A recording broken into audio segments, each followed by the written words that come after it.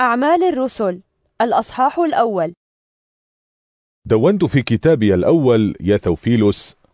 جميع ما عمل يسوع وعلم من بدء رسالته إلى اليوم الذي ارتفع فيه إلى السماء. بعدما أعطى بالروح القدس وصايا للذين اختارهم رسلا. ولهم أظهر نفسه حيا ببراهين كثيرة. وتراءى لهم مدة أربعين يوما بعد آلامه.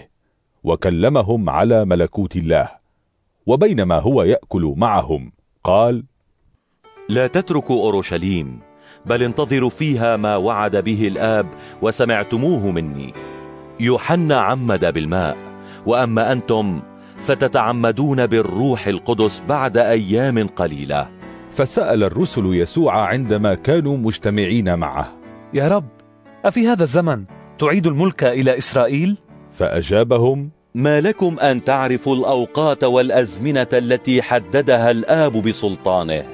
ولكن الروح القدس يحل عليكم ويهبكم القوة وتكونون لي شهودا في أورشليم واليهودية كلها والسامرة حتى أقاصي الأرض. ولما قال يسوع هذا الكلام ارتفع إلى السماء وهم يشاهدونه. ثم حجبته سحابة عن أنظارهم. وبينما هم ينظرون إلى السماء وهو يبتعد عنهم ظهر لهم رجلان في ثياب بيضاء وقالا لهم أيها الجليليون ما بالكم واقفين تنظرون إلى السماء؟ يسوع هذا الذي صعد عنكم إلى السماء سيعود مثل ما رأيتموه ذاهبا إلى السماء. فرجع الرسل إلى أورشليم من الجبل الذي يقال له جبل الزيتون. وهو قريب من أورشليم على مسيرة سبت منها. ولما دخلوا المدينة صعدوا إلى غرفة في أعلى البيت كانوا يقيمون فيها. وهم بطرس ويوحنا ويعقوب وأندراوس وفيليبوس وتوما وبرتلوماوس ومتى ويعقوب بن حلفة وسمعان الوطني الغيور ويهوذا بن يعقوب. وكانوا يواظبون كلهم على الصلاة بقلب واحد مع بعض النساء. ومريم أم يسوع وإخوته. وفي تلك الأيام خطب بطرس في الإخوة وكان عدد الحاضرين نحو مئة وعشرين. فقال يا إخوتي كان لابد أن يتم ما أنبأ به الروح القدس في الكتاب من قبل بلسان داود. على يهوذا الذي جعل نفسه دليلا للذين قبضوا على يسوع. كان واحدا منا وله نصيب معنا في هذه الخدمة. ثم اشترى بثمن الجريمة حقلا فوقع على رأسه وانشق من وسطه واندلقت أمعاؤه كلها. وعرف ذلك سكان أورشليم كلهم حتى تسمى هذا الحقل في لغتهم حقل دم أي حقل الدم. فكتاب المزامير يقول لتصر داره خرابا ولا يكن فيها ساكن. ويقول أيضا ليأخذ وظيفته آخر. ونحن فينا رجال رافقون طوال المدة التي قضاها الرب يسوع بيننا. منذ أن عمده يوحنا إلى يوم ارتفع عنا. فيجب أن نختار واحدا منهم ليكون شاهدا معنا على قيامة يسوع. فاقترح الإخوة اثنين منهم هما يوسف المدعو برسابة الملقب بيوستوس ومتياس. ثم صلوا فقالوا يا رب أنت تعرف ما في القلوب. أظهر لنا من اخترت من هذين الرجلين ليقوم بالخدمة والرسالة مقام يهوذا الذي تركهما ومضى ليلقى مصيره ثم اقترعوا فأصابت القرعة متياس فانضم إلى الرسل الأحد عشر.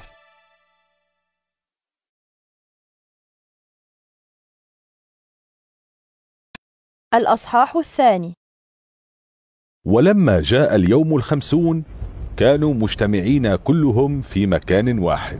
فخرج من السماء فجأة دوي كريح عاصفة فملأ البيت الذي كانوا فيه وظهرت لهم ألسنة كأنها من نار فانقسمت ووقف على كل واحد منهم لسان فامتلأوا كلهم من الروح القدس وأخذوا يتكلمون بلغات غير لغتهم على قدر ما منحهم الروح القدس أن ينطقوا. وكان في أورشليم أناس أتقياء من اليهود جاءوا من كل أمة تحت السماء فلما حدث ذلك الصوت اجتمع الناس وهم في حيرة لأن كل واحد منهم كان يسمعهم يتكلمون بلغته فاحتاروا وتعجبوا وقالوا أما هؤلاء المتكلمون كلهم من الجليل؟ فكيف يسمعهم كل واحد منا بلغة بلده؟ نحن من برثية ومادية وعلام وما بين النهرين واليهودية وكبدوكية وبنطس وأسية وفريجية وبنفيلية ومصر ونواحي ليبية المجاورة لقيرين ورومانيون مقيمون هنا وكريتيون وعرب يهود ودخلاء. ومع ذلك نسمعهم يتكلمون بلغاتنا على أعمال الله العظيمة. وكانوا كلهم حائرين مذهولين يقول بعضهم لبعض. ما معنى هذا؟ لكن آخرين كانوا يقولون ساخرين. أسكرتهم الخمر. فوقف بطرس مع التلاميذ الأحد عشر ورفع صوته وقال لهم أيها اليهود ويا جميع المقيمين في أورشليم أصغوا إلى كلامي واعلموا هذا. ما هؤلاء سكارى كما تظنون؟ فنحن بعد في التاسعة صباحا. وما هذا إلا ما قاله النبي يؤيل. قال الله في الأيام الأخيرة أفيض من روحي على جميع البشر فيتنبأ بنوكم وبناتكم ويرى شبابكم رؤى ويحلم شيوخكم أحلاما. وعلى عبيد رجالا ونساء أفيض من روحي في تلك الأيام فيتنبؤون كلهم. وأعمل عجائب فوق في السماء ومعجزات تحت في الأرض. يكون دم ونار ودخان كثيف وتصير الشمس ظلاما والقمر دما قبل أن يجيء اليوم البهي العظيم يوم الرب. فمن دعا باسم الرب يخلص. يا بني إسرائيل اسمعوا هذا الكلام. كان يسوع الناصري رجلا أيده الله بينكم بما أجرى على يده من العجائب والمعجزات والآيات كما أنتم تعرفون. وحين أسلم إليكم بمشيئة الله المحتومة وعلمه السابق صلبتموه وقتلتموه بأيدي الكافرين. ولكن الله أقامه وحطم قيود الموت. فالموت لا يمكن أن يبقيه في قبضته. لأن داود يقول فيه رأيت الرب معي في كل حين فهو عن يميني لئلا أضطرب. لذلك فرح قلبي وهلل لساني وجسدي سيرقد على رجاء لأنك لا تتركني في عالم الأموات ولا تدع قدوسك يرى الفساد. هديتني طريق الحياة وستملأني سرورا برؤية وجهك. أيها الإخوة دعوني أقول لكم جهارا. مات أبونا داود ودفن وقبره هنا عندنا إلى هذا اليوم. وكان نبيا فعرف أن الله حلف له يمينا أن من نسله يقيم من يستوي على عرشه. ورأى داود من قبل قيامة المسيح وتكلم عليها فقال ما تركه الله في عالم الأموات ولا نال من جسده الفساد. فيسوع هذا أقامه الله ونحن كلنا شهود على ذلك. فلما رفعه الله بيمينه إلى السماء نال من الآب الروح القدس الموعود به فأفاضه علينا. وهذا ما تشاهدون وتسمعون. فداود ما صعد إلى السماء وهو نفسه يقول قال الرب لربي اجلس عن يميني حتى أجعل أعداءك موطئا لقدميك. فليعلم بنو إسرائيل كلهم علم اليقين أن الله جعل يسوع هذا الذي صلبتموه أنتم ربا ومسيحا فلما سمع الحاضرون هذا الكلام وخزتهم قلوبهم فقالوا لبطرس وسائر الرسل ماذا يجب علينا أن نعمل أيها الإخوة؟ فقال لهم بطرس توبوا وليتعمد كل واحد منكم باسم يسوع المسيح فتغفر خطاياكم وينعم عليكم بالروح القدس لأن الوعد لكم ولأولادكم ولجميع البعيدين بقدر ما يدعو منهم الرب إلهنا. وكان بطرس يناشدهم ويعظهم بكلام آخر ويقول تخلصوا من هذا الجيل الفاسد. فالذين قبلوا كلامه تعمدوا. فانضم في ذلك اليوم نحو ثلاثة ألاف نفس. وكانوا يداومون على الاستماع إلى تعليم الرسل وعلى الحياة المشتركة وكسر الخبز والصلاة وتمت عجائب وآيات كثيرة على أيدي الرسل فاستولى الخوف على جميع النفوس. وكان المؤمنون كلهم متحدين يجعلون كل ما عندهم مشتركا بينهم يبيعون أملاكهم وخيراتهم ويتقاسمون ثمنها على قدر حاجة كل واحد منهم. وكانوا يلتقون كل يوم في الهيكل بقلب واحد ويكسرون الخبز في البيوت ويتناولون الطعام بفرح وبساطة قلب ويسبحون الله وينالون رضا الناس كلهم. وكان الرب كل يوم يزيد عدد الذين أنعم عليهم بالخلاص.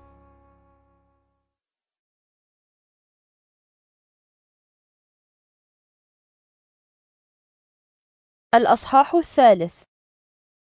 وصعد بطرس ويوحنا إلى الهيكل لصلاة الساعة الثالثة بعد الظهر.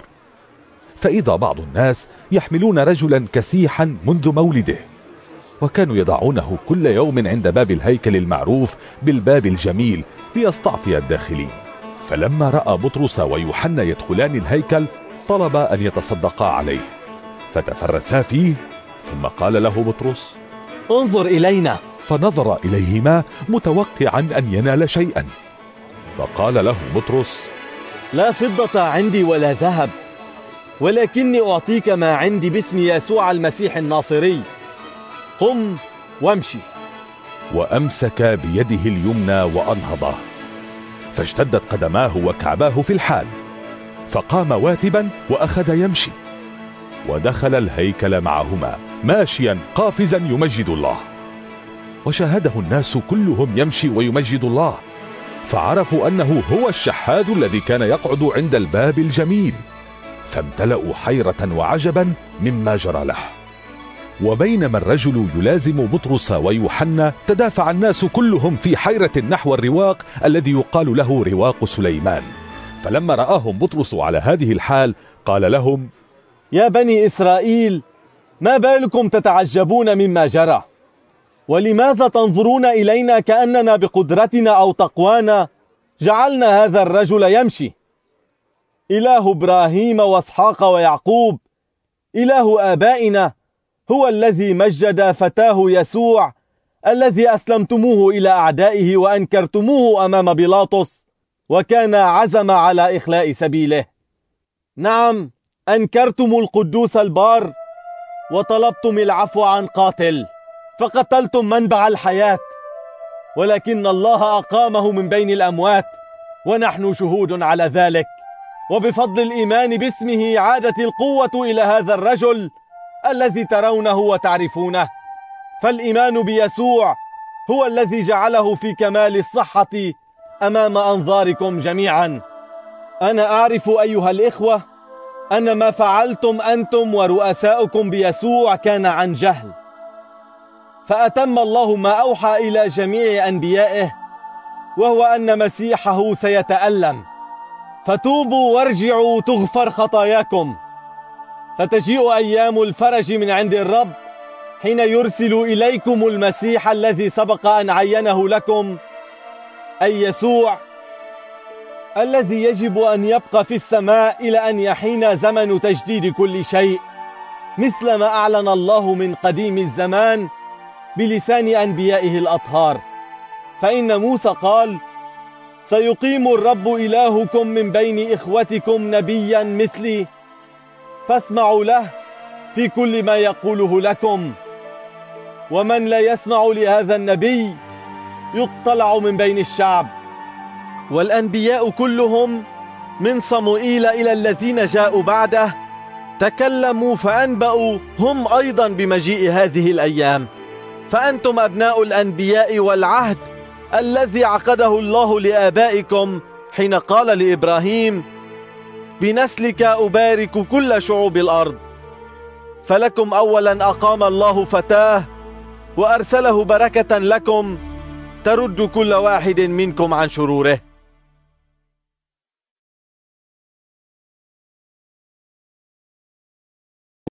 الأصحاح الرابع. وبينما بطرس ويوحنا يخطبان في الشعب جاء إليهما الكهنة ورئيس حرس الهيكل والصدوقيون. وهم مستاءون لأنهما كانا يعلمان الشعب ويعلنان قيامة الأموات بقيامة يسوع. فأمسكوهما وحبسوهما إلى الغد لأنه جاء المساء. وآمن كثير من الذين سمعوا الكلمة. فبلغ عدد المؤمنين من الرجال نحو خمسة ألاف. وفي الغد اجتمع في أورشليم رؤساء اليهود والشيوخ ومعلمو الشريعة وحنان رئيس الكهنة وقيافة ويوحنا وإسكندر وأبناء رؤساء الكهنة كلهم. ثم استدعوا بطرس ويوحنا وسألوهما. بأي سلطة أو بأي اسم عملتما هذا؟ فأجابهم بطرس وهو ممتلئ من الروح القدس. يا رؤساء الشعب ويا أيها الشيوخ إذا كنتم تسألوننا اليوم عن الإحسان إلى مريض لتعرفوا كيف شفي فاعلموا جميعا وليعلم شعب إسرائيل كله أن هذا الرجل يقف هنا أمامكم صحيحا معافا باسم يسوع المسيح الناصري الذي صلبتموه أنتم وأقامه الله من بين الأموات. هذا هو الحجر الذي رفضتموه أيها البناؤون. فصار رأس الزاوية. لا خلاص إلا بيسوع. فما من اسم آخر تحت السماء وهبه الله للناس نقدر به أن نخلص. فلما رأى أعضاء المجلس جرأة بطرس ويوحنا تعجبوا لأنهم عرفوهما أميين من عامة الناس ولكنهم علموا أنهما كانا قبلا مع يسوع. وهم إلى ذلك يشاهدون الرجل الذي شفي واقفا قربهما فما كان لهم ما يجادلون فيه. فأمروهما أن يخرجا من المجلس ثم تشاوروا. وقالوا ماذا نفعل بهذين الرجلين؟ فكل سكان أورشليم يعرفون أن هذه الآية المبينة تمت على أيديهما فلا نقدر أن ننكرها. ولكن لئلا يزداد انتشار هذا الخبر بين الشعب. فلننذرهما بأن لا يعودا إلى ذكر اسم يسوع أمام أحد. ثم استدعوهما وأمروهما ألا ينطقا أو يعلما باسم يسوع. فقال لهم بطرس ويوحنا أنتم أنفسكم أحكموا. هل الحق عند الله أن نطيعكم أم أن نطيع الله؟ أما نحن فلا يمكننا إلا أن نتحدث بما رأينا وسمعنا. فأنذروهما ثانية. ولكنهم حاروا كيف يعاقبونهما. فأخلوا سبيلهما خوفا من الشعب. فالناس كلهم كانوا يمجدون الله على ما جرى لأن الرجل الذي نال هذا الشفاء العجيب جاوز حد الأربعين. ولما أخلى المجلس سبيل بطرس ويوحنا رجعا إلى رفاقهما وأخبراهم بكل ما قال لهما رؤساء الكهنة والشيوخ.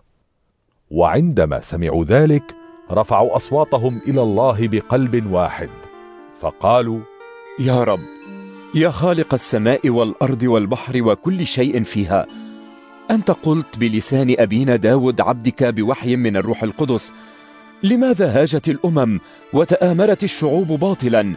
قام ملوك الأرض وتحالف الرؤساء كلهم على الرب ومسيحه. نعم تحالف في هذه المدينة هيرودس وبنطيوس بيلاطس وبنو إسرائيل والغرباء على فتاك القدوس يسوع الذي جعلته مسيحا. فعملوا ما سبق أن قضت يدك ومشيئتك أن يكون. فانظر الآن يا رب إلى تهديداتهم. وامنحنا نحن عبيدك أن نعلن كلمتك بكل جرأة. مد يدك لتأتي بالشفاء والآيات والعجائب. باسم فتاك القدوس يسوع. وبينما هم يصلون اهتز المكان الذي كانوا مجتمعين فيه وامتلأوا كلهم من الروح القدس فأخذوا يعلنون كلمة الله بجرأة. وكان جماعة المؤمنين قلبا واحدا وروحا واحدة. لا يدعي أحد منهم ملك ما يخصه بل كانوا يتشاركون في كل شيء لهم. وكان الرسل يؤدون الشهادة بقيامة الرب يسوع تؤيدها قدرة عظيمة وكانت النعمة وافرة عليهم جميعا. فما كان أحد منهم في حاجة لأن الذين يملكون الحقول أو البيوت كانوا يبيعونها ويجيئون بثمن المبيع فيلقونه عند أقدام الرسل ليوزعوه على قدر احتياج كل واحد من الجماعة. وهكذا عمل يوسف. وهو لاوي قبرصي الأصل لقبه الرسل ببرنابا أي ابن التعزية. فباع حقلا يملكه وجاء بثمنه وألقاه عند أقدام الرسل.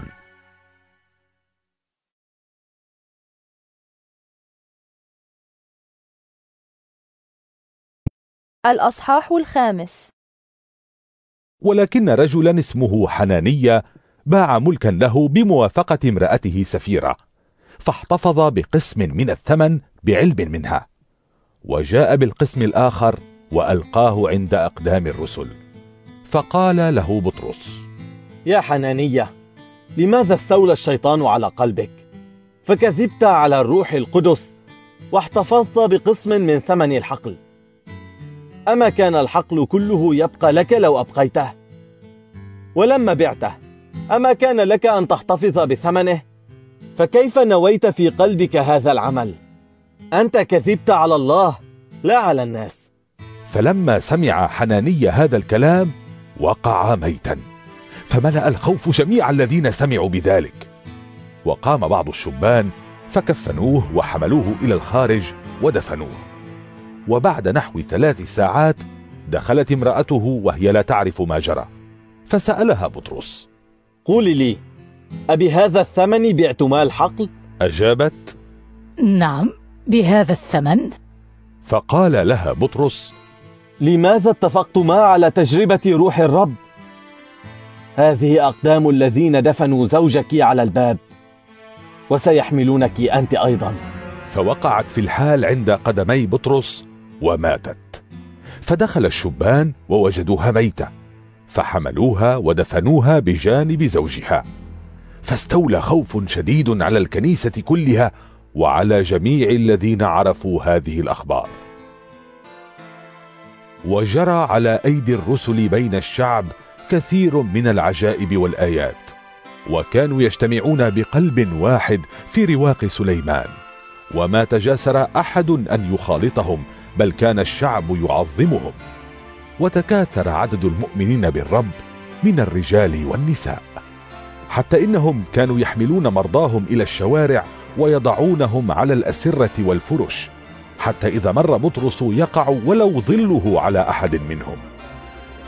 وكانت جموع الناس تجيء إلى أورشليم من المدن المجاورة تحمل المرضى والذين فيهم أرواح نجسة فيشفون كلهم. واشتدت نقمة رئيس الكهنة وأتباعه من شيعة الصدوقيين فأمسكوا الرسل وألقوهم في السجن العام. ولكن ملاك الرب فتح أبواب السجن في الليل وأخرج الرسل وقال لهم اذهبوا إلى الهيكل وبشروا الشعب بتعاليم الحياة الجديدة. فسمعوا له ودخلوا الهيكل عند الفجر وأخذوا يعلمون. فجاء رئيس الكهنة وأتباعه وجمعوا المجلس وشيوخ الشعب وأمروا بإحضار الرسل من السجن.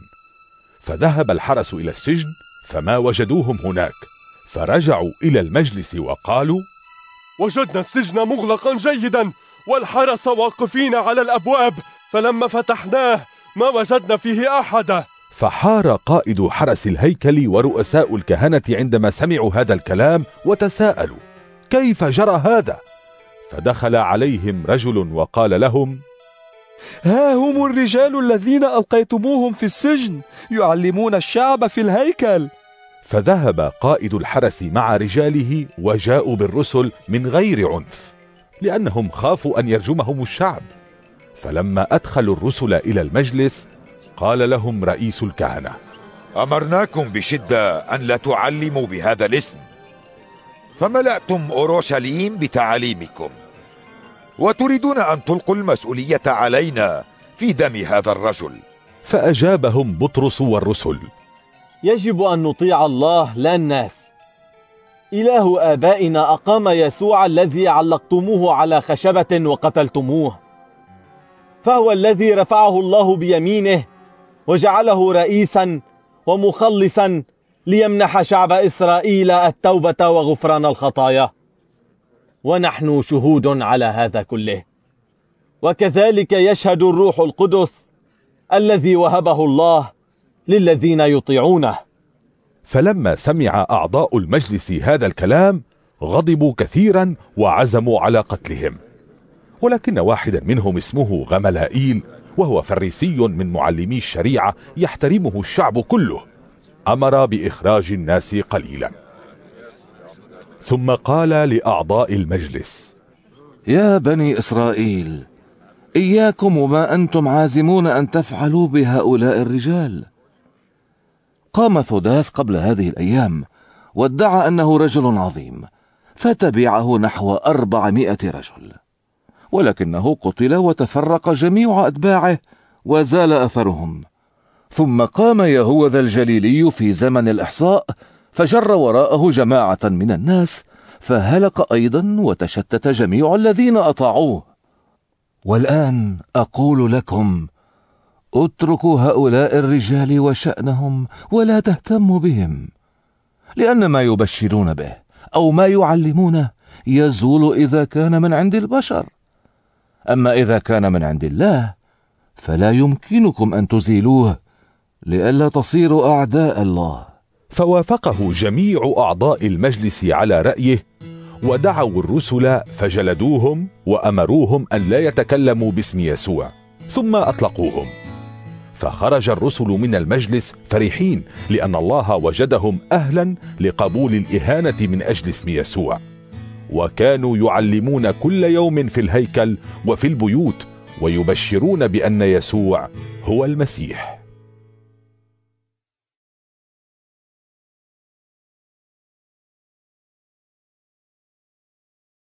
الأصحاح السادس. وفي تلك الأيام كثر عدد التلاميذ فأخذ اليهود اليونانيون المغتربون يتذمرون على اليهود العبرانيين المقيمين زاعمين أن أراملهم لا يأخذن نصيبهن من المعيشة اليومية. فدعا الرسل الاثنا عشر جماعة التلاميذ وقالوا لهم لا يليق بنا أن نهمل كلام الله لنهتم بأمور المعيشة. فاختاروا أيها الإخوة سبعة رجال منكم مشهود لهم بحسن السمعة وممتلئين من الروح القدس والحكمة حتى نكلفهم بهذا العمل ونواظب نحن على الصلاة والتبشير بكلام الله. فاستحسنت الجماعة كلها رأي الرسل. فاختاروا استفانوس وهو رجل ممتلئ من الإيمان والروح القدس. وفيلبس وبروخوروس ونيكانوروس وتيمون وبرميناس ونيقولاوس وهو أنطاكي صار يهوديا. ثم أحضروهم أمام الرسل فصلوا ووضعوا عليهم الأيدي وكان كلام الله ينتشر وعدد التلاميذ يزداد كثيرا في أورشليم واستجاب للإيمان كثير من الكهنة. وكان استفانوس ممتلئا من النعمة والقدرة فأخذ يصنع العجائب والآيات العظيمة بين الشعب. فقام بعض أعضاء المجمع المعروف بمجمع العبيد المحررين ويهود من قيرين والإسكندرية وسواهم من كيليكية وآسية وأخذوا يجادلون استفانوس ولكن الروح أعطى استفانوس من الحكمة ما جعلهم عاجزين عن مقاومته. فرشوا بعض الناس ليقولوا سمعنا هذا الرجل يجدف على موسى وعلى الله. فهيجوا الشعب والشيوخ ومعلمي الشريعة ثم باغتوه وخطفوه وجاءوا به إلى المجلس. وأحضروا شهود زور يقولون هذا الرجل لا يكف عن شتم الهيكل المقدس والشريعة ونحن سمعناه يقول سيهدم يسوع الناصري هذا المكان ويغير التقاليد التي ورثناها عن موسى. فنظر إليه جميع الحاضرين في المجلس فرأوا وجهه كأنه وجه ملاك.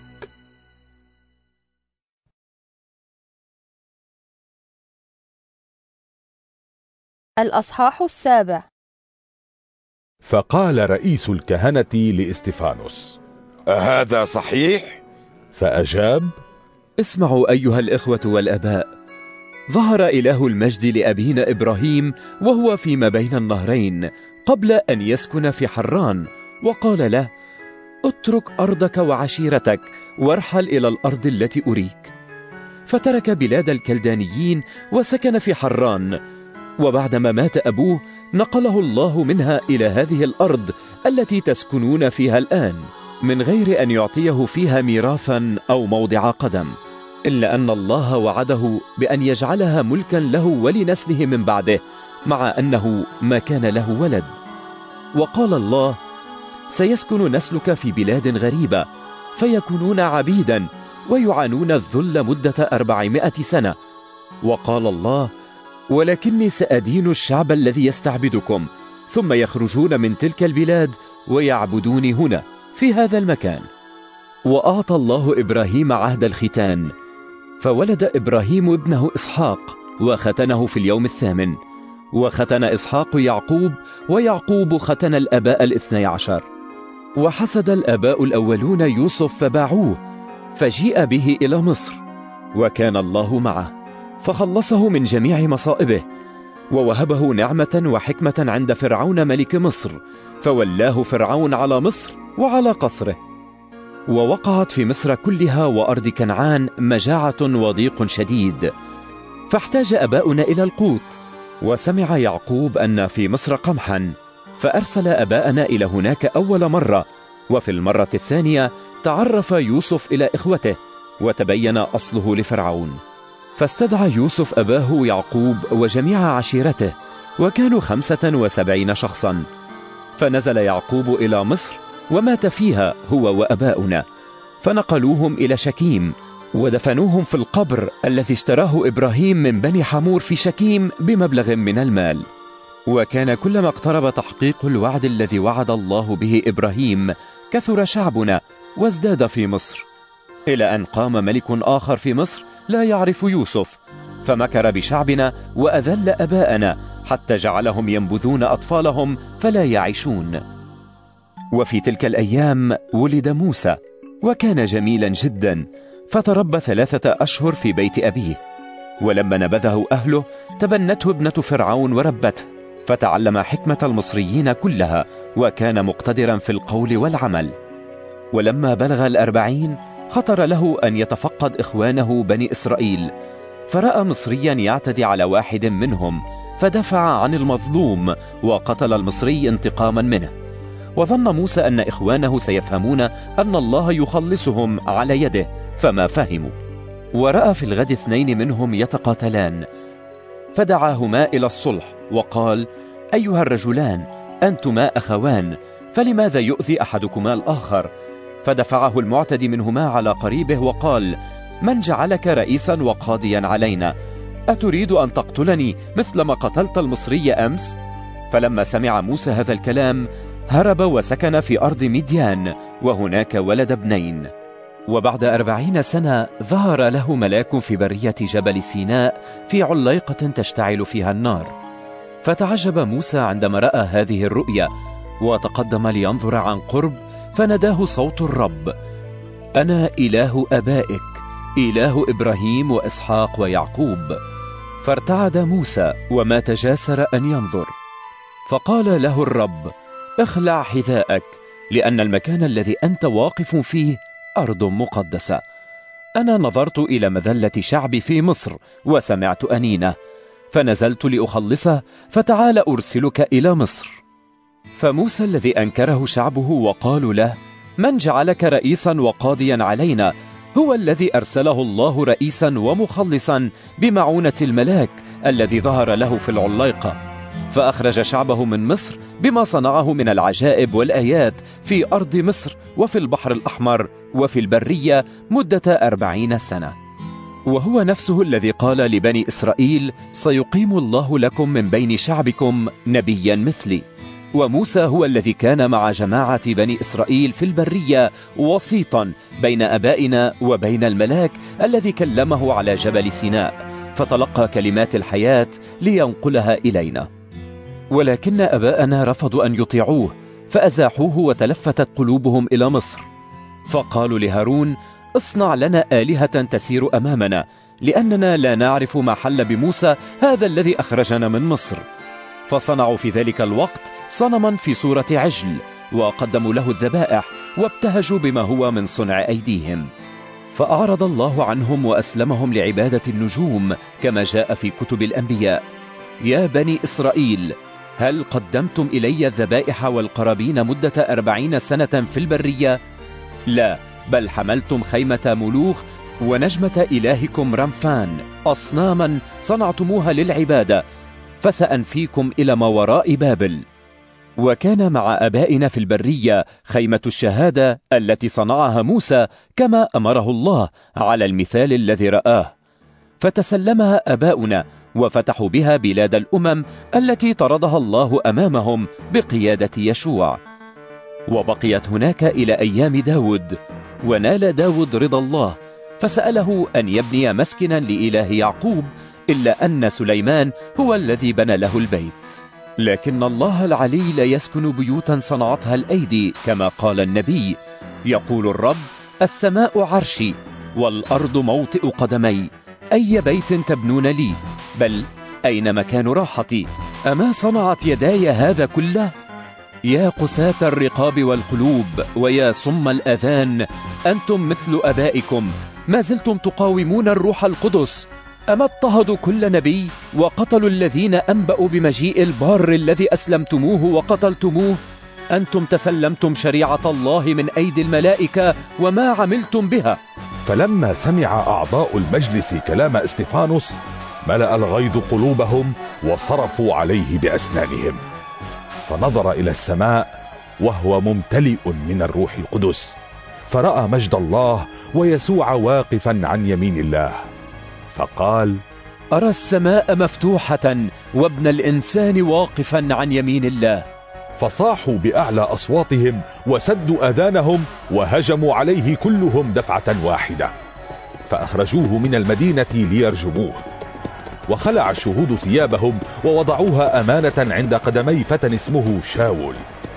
وأخذوا يرجمون استفانوس وهو يدعو فيقول أيها الرب يسوع تقبل روحي. وسجد وصاح بأعلى صوته. يا رب لا تحسب عليهم هذه الخطيئة. قال هذا ومات.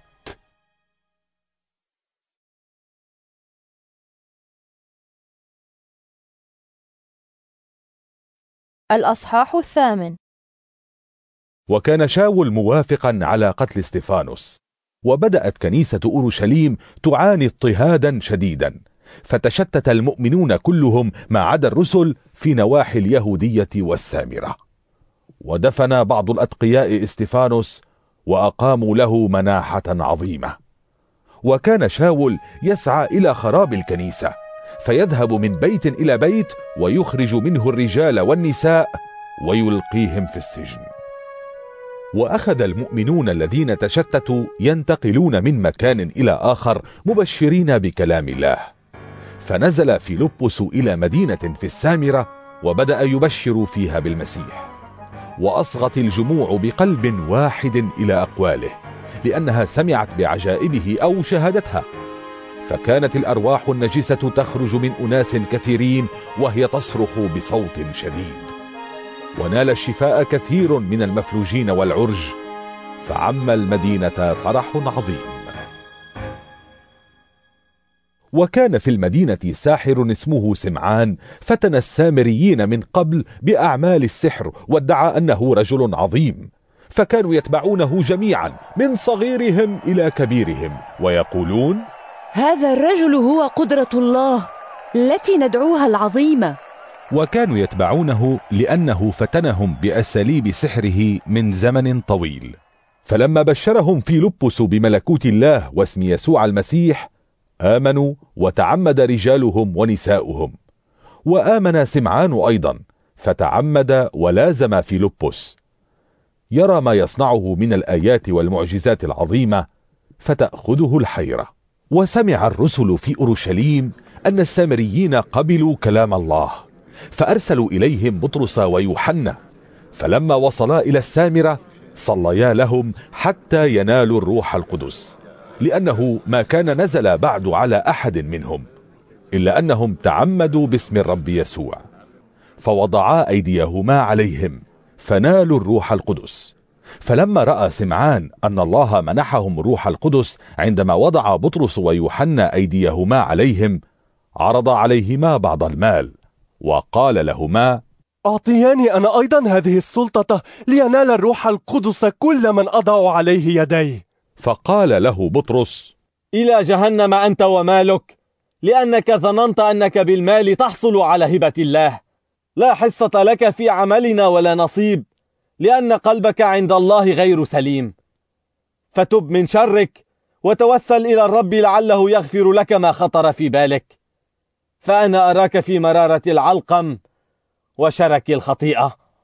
فأجاب سمعان توسل إلى الرب من أجلي لئلا يصيبني شيء مما ذكرتماه أما بطرس ويوحنا فبعدما أديا الشهادة وأعلنا كلام الرب رجعا إلى أورشليم وهما يبشران قرى كثيرة في السامرة.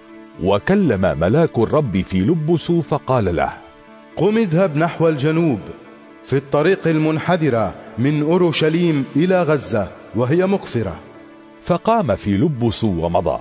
وفي الطريق صادف رجلا من الحبشة وزيرا من خصيان كنداك ملكة الحبش وخازن جميع أموالها. وهو جاء إلى أورشليم للعبادة وكان راجعا وهو جالس في مركبته يقرأ النبي إشعيا فقال الروح لفيلبس تقدم حتى تلحق هذه المركبة فأسرع إليها فيلبس فسمع الرجل يقرأ النبي إشعيا فقال له أتفهم ما تقرأ؟ فأجاب كيف أفهم ولا أحد يشرح لي؟ ورجى من فيلبس أن يصعد ويجلس معه.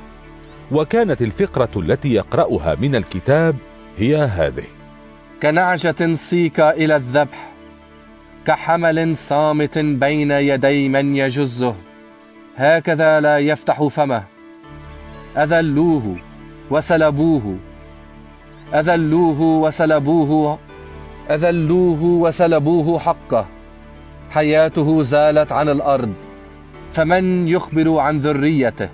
فقال الرجل لفيلبس أخبرني من يعني النبي بهذا الكلام؟ أيعني نفسه أم شخصا آخر؟ فبدأ فيلبس من هذه الفقرة في الكتاب يبشره بيسوع وبينما هما في الطريق وصلا إلى مكان فيه ماء.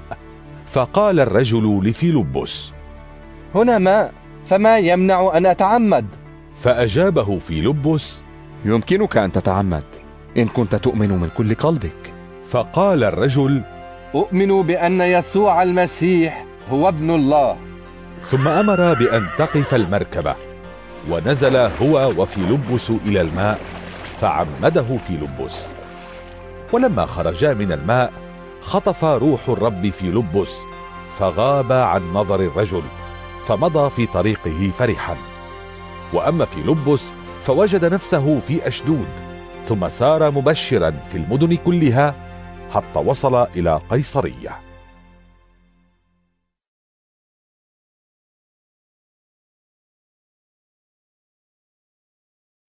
الأصحاح التاسع. أما شاول فكان ينفث صدره تهديدا وتقتيلا لتلاميذ الرب فذهب إلى رئيس الكهنة وطلب منه رسائل إلى مجامع دمشق ليعتقل الرجال والنساء الذين يجدهم هناك على مذهب الرب ويجيء بهم إلى أورشليم.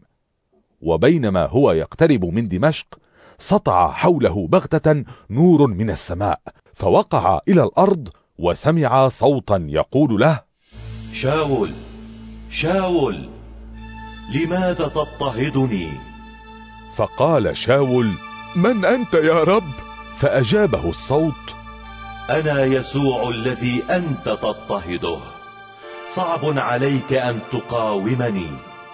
فقال وهو مرتعب خائف. يا رب ماذا تريد أن أعمل؟ فقال له الرب قم وادخل المدينة وهناك يقال لك ما يجب أن تعمل. وأما رفاق شاول فوقفوا حائرين يسمعون الصوت ولا يشاهدون أحدا. فنهض شاول عن الأرض وفتح عينيه وهو لا يبصر شيئا. فقادوه بيده إلى دمشق. فبقي ثلاثة أيام مكفوف البصر لا يأكل ولا يشرب. وكان في دمشق تلميذ اسمه حنانية. فناداه الرب في الرؤيا. يا حنانية. أجابه نعم يا رب.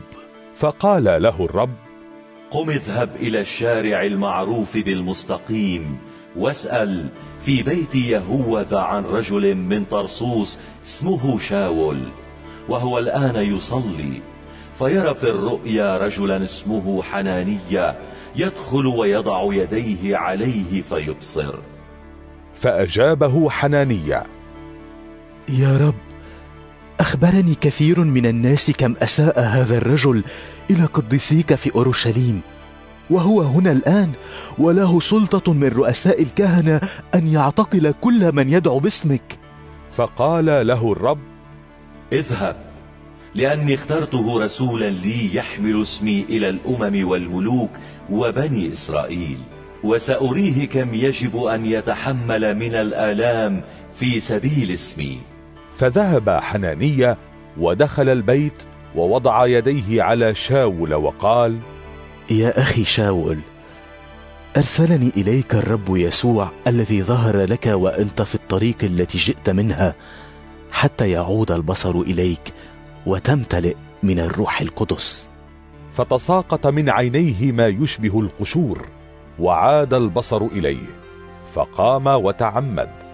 ثم أكل فعادت إليه قواه وأقام شاول بضعة أيام مع التلاميذ في دمشق ثم سارع إلى التبشير في المجامع بأن يسوع هو ابن الله فكان السامعون يتعجبون ويقولون أما كان هذا الرجل في أورشليم يضطهد كل من يدعو بهذا الاسم؟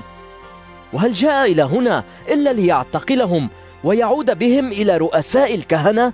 لكن شاول كان يزداد قوة في تبشيره فأثار الحيرة في عقول اليهود المقيمين في دمشق بحججه الدامغة على أن يسوع هو المسيح.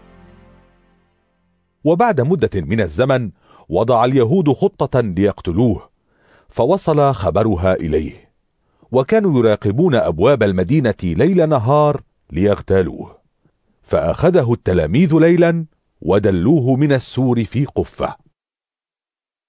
ولما وصل شاول إلى أورشليم حاول أن ينضم إلى التلاميذ فكانوا كلهم يخافون منه ولا يصدقون أنه تلميذ.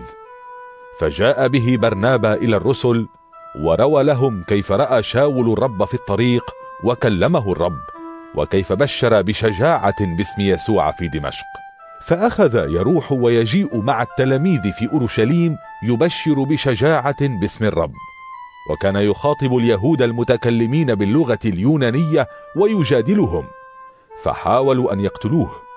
فلما عرف الإخوة بالأمر أنزلوه إلى قيصرية وأرسلوه منها إلى طرسوس.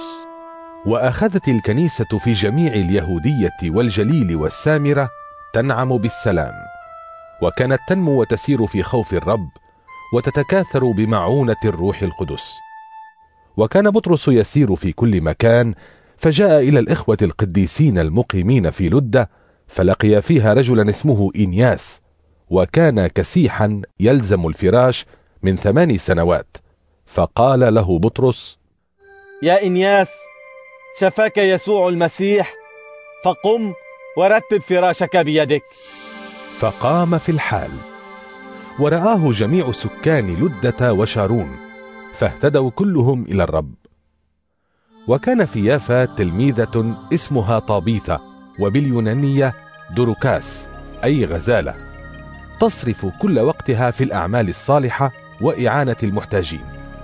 فمرضت في ذلك الوقت وماتت فغسلوها ووضعوها في الغرفة العليا.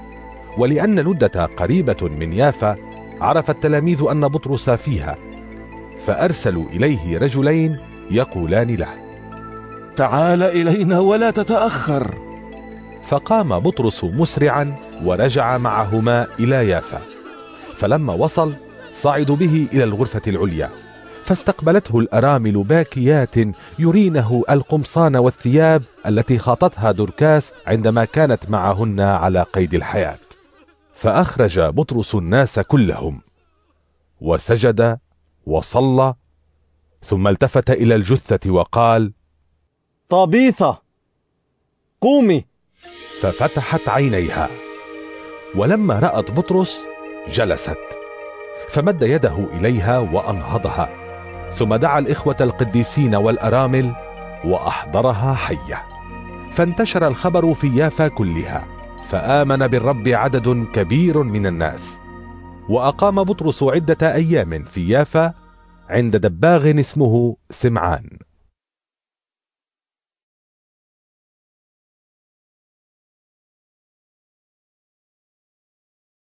الأصحاح العاشر.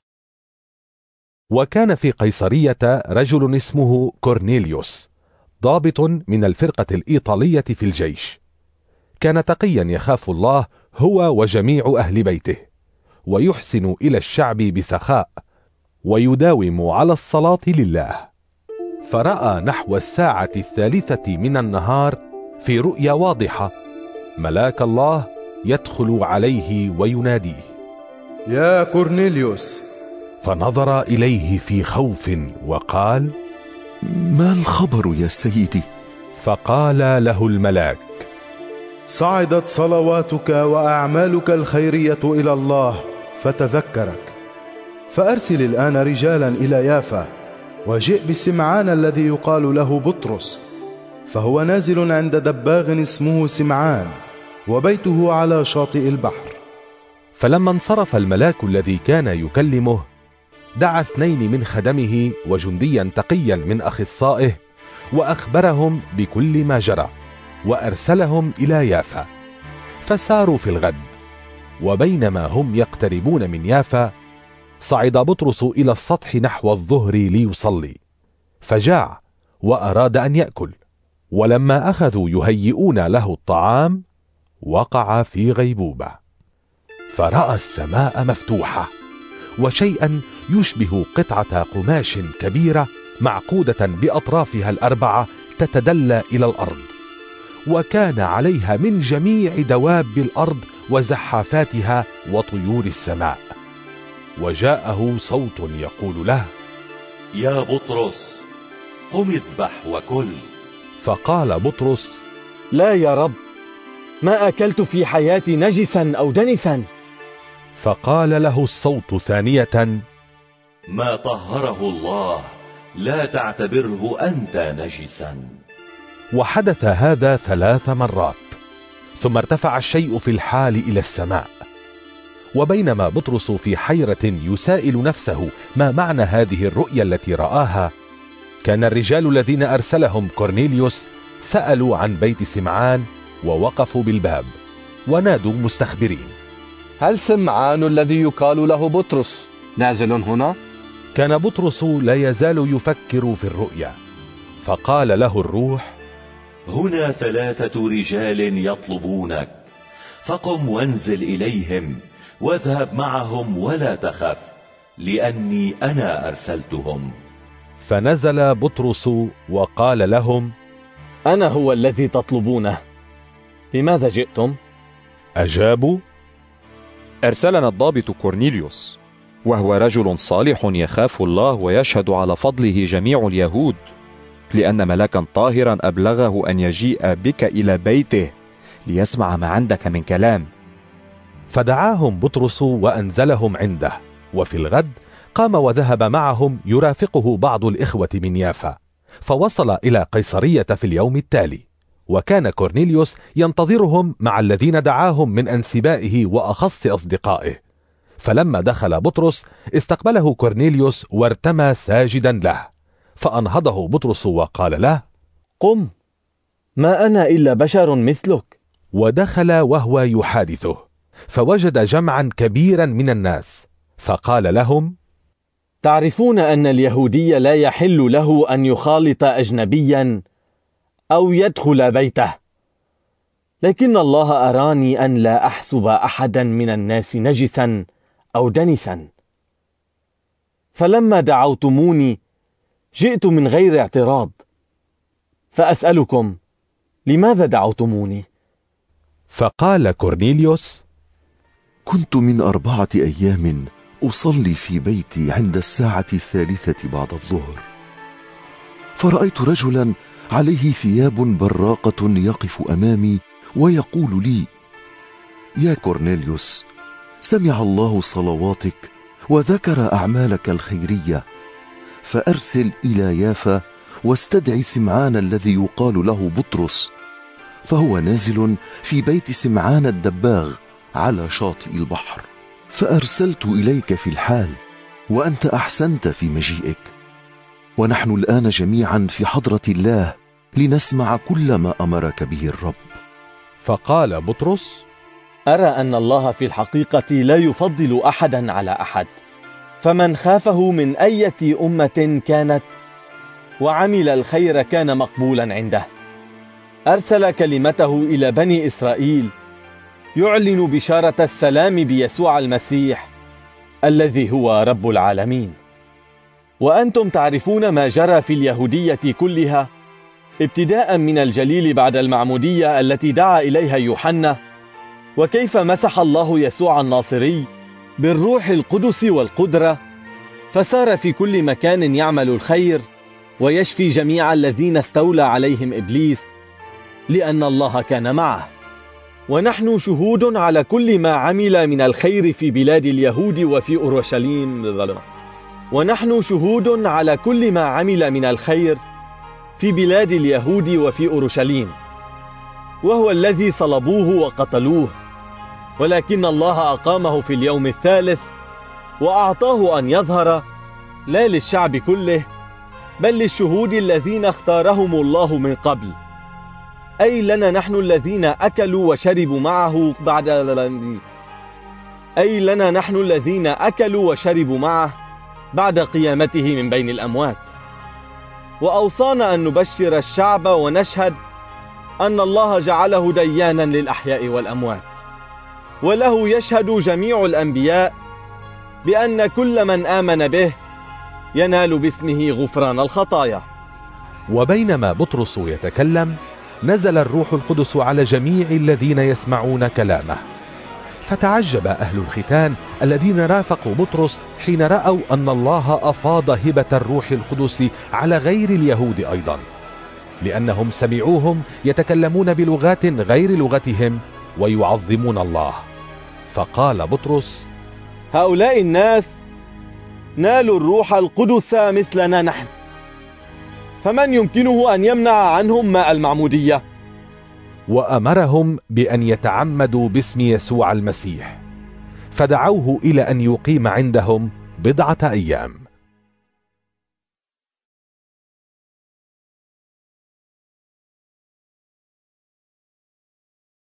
الأصحاح الحادي عشر. سمع الرسل والإخوة في اليهودية أن غير اليهود أيضا قبلوا كلام الله. فلما صعد بطرس إلى أورشليم خاصمه أهل الختان وقالوا له دخلت إلى قوم غير مختونين وأكلت معهم؟ فروى لهم بطرس كل ما جرى له قال كنت أصلي في مدينة يافا فرأيت في الغيبوبة رؤيا فإذا شيء مثل قطعة قماش كبيرة معقودة بأطرافها الأربعة يتدلى من السماء حتى وصل إلي ونظرت إليه جيدا فرأيت عليه دواب الأرض والوحوش والزحافات وطيور السماء وسمعت صوتا يقول لي يا بطرس قم اذبح وكل. فقلت لا يا رب ما دخل فمي طعام نجس أو دنس من قبل. فأجابني الصوت ثانية من السماء ما طهره الله لا تعتبره أنت نجسا. وحدث هذا ثلاث مرات ثم ارتفع الشيء كله إلى السماء. وفي تلك الساعة وقف ثلاثة رجال بباب البيت الذي كنت فيه وكانوا مرسلين إلي من قيصرية فأمرني الروح أن أذهب معهم من دون تردد. فرافقني هؤلاء الإخوة الستة إلى قيصرية. فدخلنا بيت كورنيليوس فأخبرنا كيف رأى الملاك يقف في بيته ويقول له أرسل إلى يافا وجئ بسمعان الذي يقال له بطرس فهو يكلمك كلاما تخلص به أنت وجميع أهل بيتك. فلما بدأت أتكلم نزل الروح القدس عليهم مثل ما نزل علينا نحن في البدء. فتذكرت ما قال الرب. عمد يوحنا بالماء وأما أنتم فتتعمدون بالروح القدس. فإذا كان الله وهب هؤلاء ما وهبنا نحن عندما آمنا بالرب يسوع المسيح فمن أكون أنا لأقاوم الله؟ فلما سمع الحاضرون هذا الكلام هدأوا ومجدوا الله وقالوا أنعم الله إذا على غير اليهود أيضا بالتوبة سبيلا إلى الحياة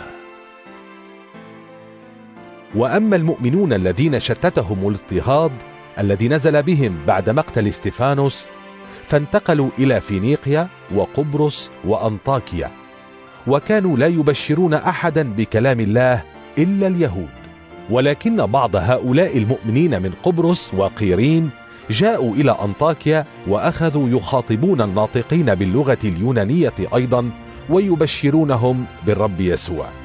وكانت يد الرب معهم فآمن منهم كثيرون واهتدوا إلى الرب. وبلغ الخبر مسامع الكنيسة في أورشليم فأرسلوا برنابا إلى أنطاكيا. فلما جاء ورأى نعمة الله فرح وشجعهم كلهم على الثبات في الرب بكل قلوبهم. وكان برنابا رجلا صالحا ممتلئا من الروح القدس والإيمان. فانضم إلى الرب جمع كبير. وذهب برنابا إلى طرسوس يبحث عن شاول. فلما وجده جاء به إلى أنطاكيا فأقاما سنة كاملة يجتمعان إلى جماعة الكنيسة فعلما جمعا كبيرا. وفي أنطاكيا تسمى التلاميذ أول مرة بالمسيحيين. وفي تلك الأيام نزل بعض الأنبياء من أورشليم إلى أنطاكيا فقام أحدهم واسمه أغابوس وتنبأ بوحي من الروح أن مجاعة عظيمة ستعم الأرض كلها وهي التي حدثت في أيام القيصر كلوديوس. فعزم التلاميذ أن يرسلوا كل واحد وقدرته معونة إلى الإخوة المقيمين في اليهودية وفعلوا ذلك. فأرسلوا معوناتهم إلى شيوخ الكنيسة مع برنابا وشاول.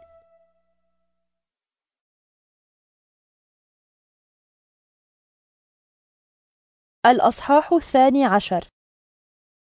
وفي ذلك الوقت أخذ الملك هيرودس يضطهد بعض رجال الكنيسة وقتل بحد السيف يعقوب أخ يوحنا. فلما رأى أن هذا يرضي اليهود قبض أيضا على بطرس وكان ذلك في أيام الفطير. وبعدما قبض عليه ألقاه في السجن وسلمه إلى أربع فرق ليحرسوه. كل فرقة أربعة جنود. وكان ينوي أن يعرضه للشعب بعد عيد الفصح فأبقاه في السجن. وكانت الكنيسة تصلي إلى الله بلا انقطاع من أجله. وكان بطرس في الليلة التي عزم هيرودس أن يعرضه بعدها للشعب نائما بين حارسين. وكان مقيدا بسلسلتين وعلى الباب جنود يحرسون السجن. وظهر ملاك الرب بغتة. فسطع نور في داخل السجن وضرب الملاك بطرس على جنبه فأيقظه وقال له قم سريعا. فانحلت السلسلتان عن يديه. وقال له الملاك شد حزامك واربط حذاءك. ففعل. ثم قال له البس ثوبك واتبعني. فخرج يتبعه وهو لا يعرف أن ما فعله الملاك كان شيئا حقيقيا بل ظن أنه رؤيا. فاجتازا الحرس الأول والثاني ووصلا إلى الباب الحديدي الذي يواجه المدينة فانفتح من تلقائه وخرجا حتى قطعا شارعا واحدا ففارقه الملاك في الحال. فأفاق بطرس من غفلته وقال الآن تأكد لي أن الرب أرسل ملاكه فأنقذني من يد هيرودس ومن كل ما كان اليهود ينتظرون أن يفعلوه بي. ثم فكر قليلا وذهب إلى بيت مريم أم يوحنا الملقب بمرقس وكان هناك جماعة كبيرة تصلي. فدق بطرس الباب الخارجي فجاءت جارية اسمها رودة تتسمع. فلما عرفت صوت بطرس أسرعت إلى داخل البيت من دون أن تفتح الباب لشدة فرحها وأخبرتهم بأن بطرس على الباب. فقالوا لها أنت تهذين. فأصرت على كلامها. فقالوا لها هذا ملاكه. وأخذ بطرس يدق الباب حتى فتحوا له. فلما شاهدوه تعجبوا فأسكتهم بإشارة من يده. وروى لهم كيف أخرجه الرب من السجن؟ وقال لهم أخبروا يعقوب والإخوة بما جرى. ثم خرج وذهب إلى مكان آخر. وعند الصباح اضطرب الحرس كثيرا وتساءلوا ماذا جرى لبطرس؟ ولما طلبه هيرودس فما وجده سأل الحرس وأمر بقتلهم ثم نزل من اليهودية إلى قيصرية وأقام فيها. وكان هيرودس غاضبا على أهل صورة وصيدا فاتفقوا فيما بينهم وجاءوا إليه بعدما استمالوا بلاستوس حاجب الملك وطلبوا السلام لأن بلادهم تعتمد في رزقها على مملكته. وفي اليوم المعين لبس هيرودس ثيابه الملوكية وجلس على العرش يخطب في الشعب. فصاحوا. هذا صوت إله لا صوت إنسان. فضربه ملاك الرب في الحال لأنه ما مجد الله فأكله الدود ومات. وكان كلام الله ينتشر ويثمر. ورجع برنابا وشاول من أورشليم بعدما أتما خدمتهما. يرافقهما يوحنا الملقب بمرقس.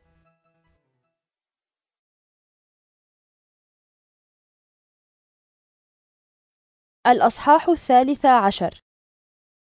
وكان في كنيسة أنطاكيا أنبياء ومعلمون هم برنابا وشمعون الذي يدعى نيجر ولوقيوس القيريني ومناين وهو صديق الوالي هيرودس من الطفولة وشاول.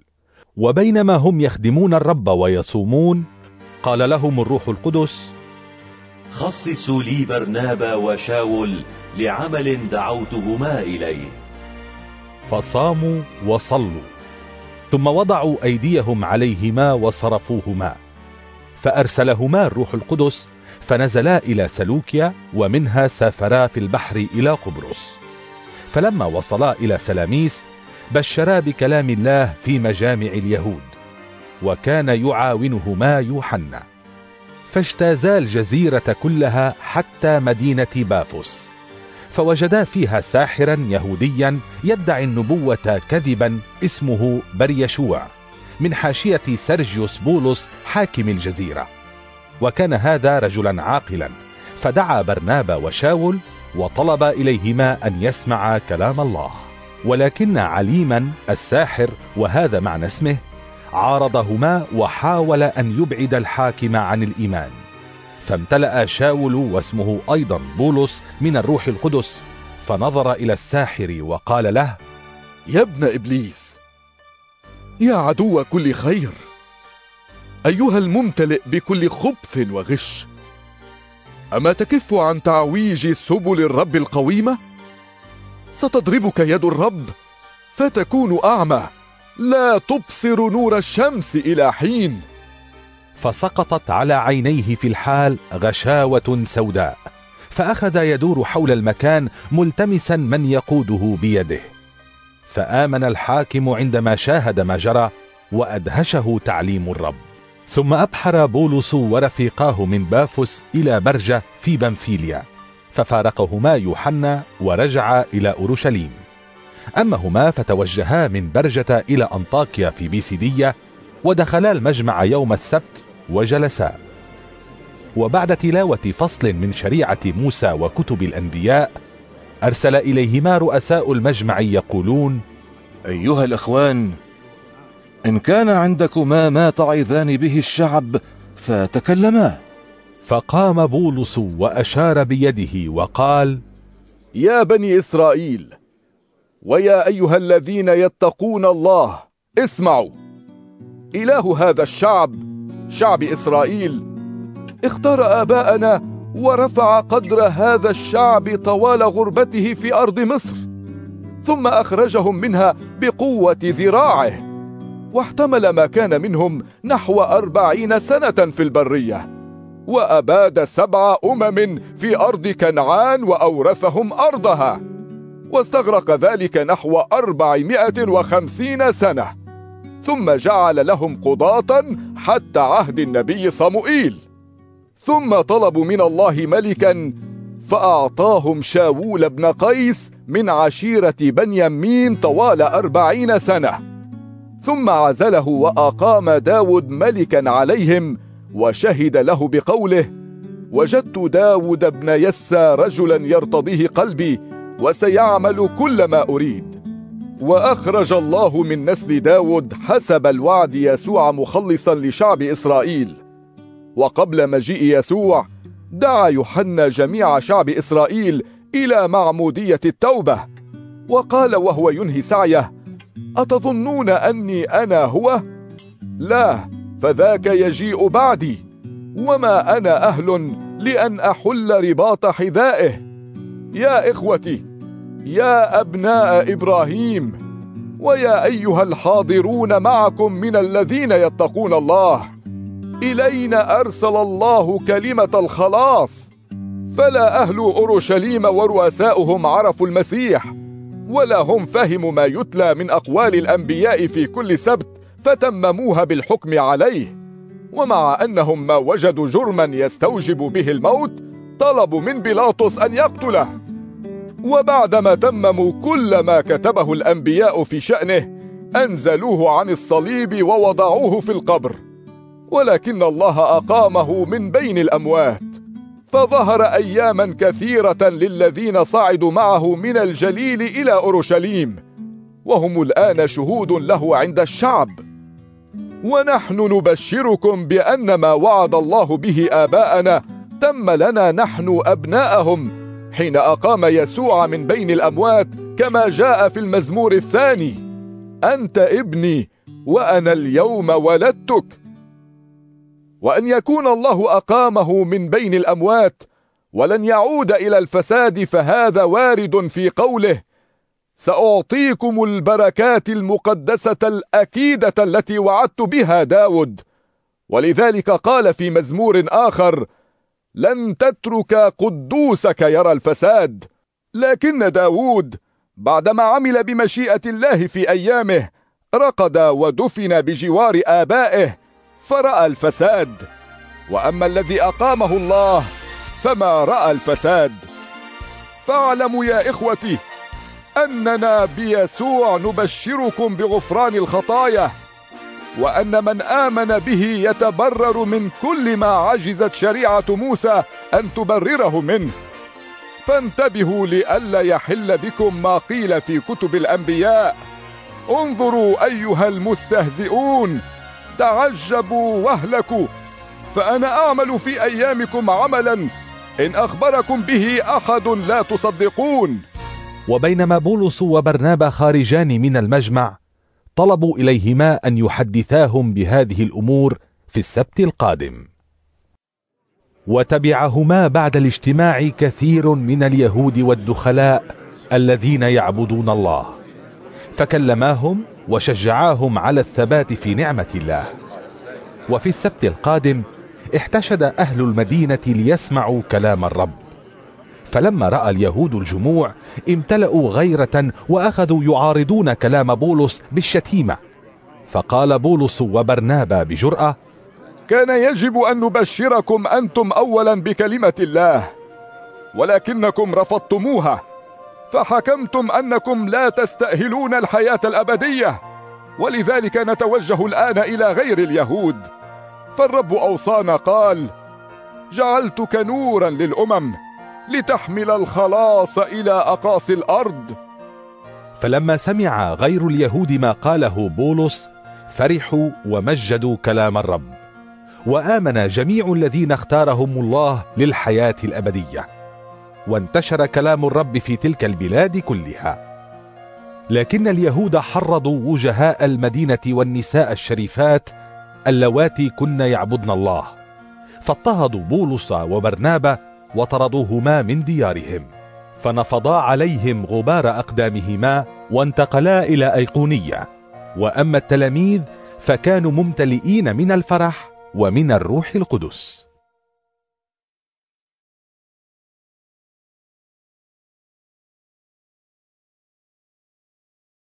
الأصحاح الرابع عشر. ودخل بولس وبرنابا كعادتهما مجمع اليهود في أيقونيا وتكلما كلاما جعل كثيرا من اليهود واليونانيين يؤمنون. لكن اليهود الذين رفضوا أن يؤمنوا حرضوا غير اليهود على الإخوة وأفسدوا قلوبهم. ولكن بولس وبرنابا أقاما هناك مدة طويلة يجاهران بالرب.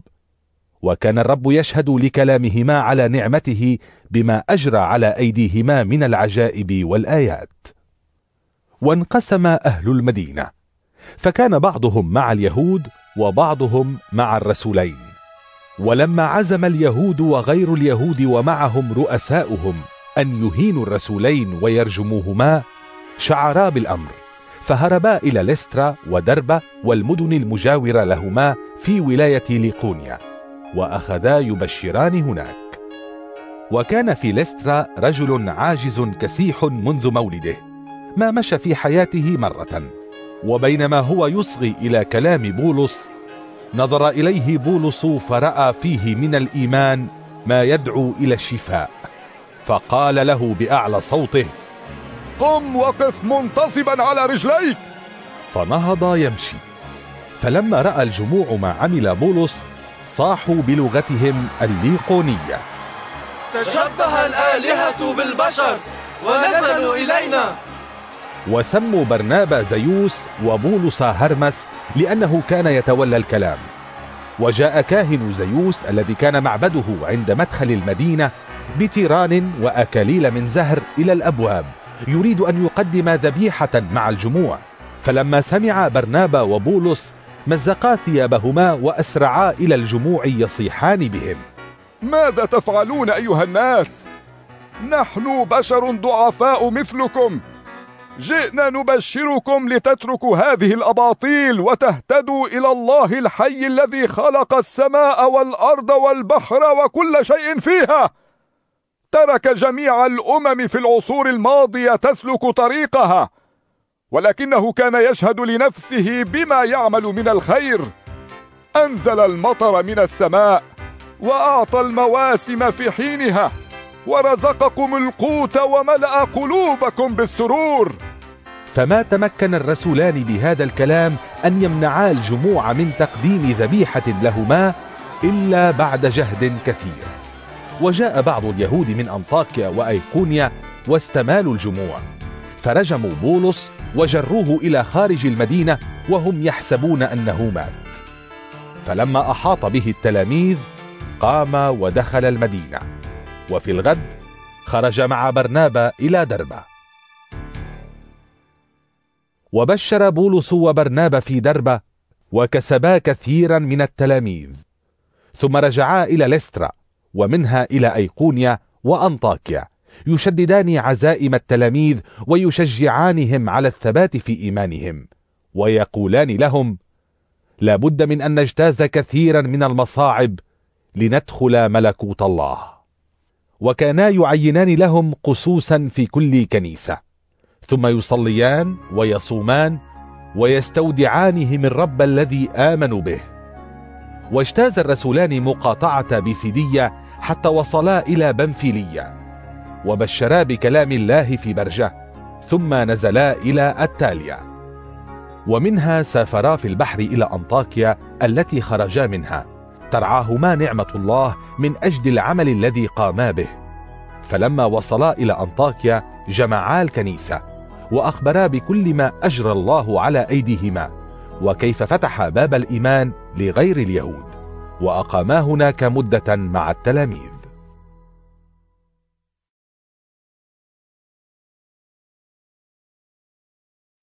الأصحاح الخامس عشر. ونزل جماعة من اليهودية وأخذوا يعلمون الإخوة فيقولون لا خلاص لكم إلا إذا اختتنتم على شريعة موسى. فوقع بينهم وبين بولس وبرنابا خلاف وجدال شديد فأجمعوا على أن يصعد بولس وبرنابا وغيرهما من المؤمنين إلى أورشليم ليراجعوا الرسل والشيوخ في هذه المسألة. وبعدما شيعتهم الكنيسة اجتازوا فينيقيا والسامرة يخبرون كيف اهتدى غير اليهود فيفرح الإخوة كثيرا. فلما وصلوا إلى أورشليم رحبت بهم الكنيسة والرسل والشيوخ فأخبروهم بكل ما أجرى الله على أيديهم. فقام بعض المؤمنين الذين كانوا من قبل على مذهب الفريسيين وقالوا يجب أن يختتن غير اليهود ويعمل بشريعة موسى. فاجتمع الرسل والشيوخ للنظر في هذه المسألة.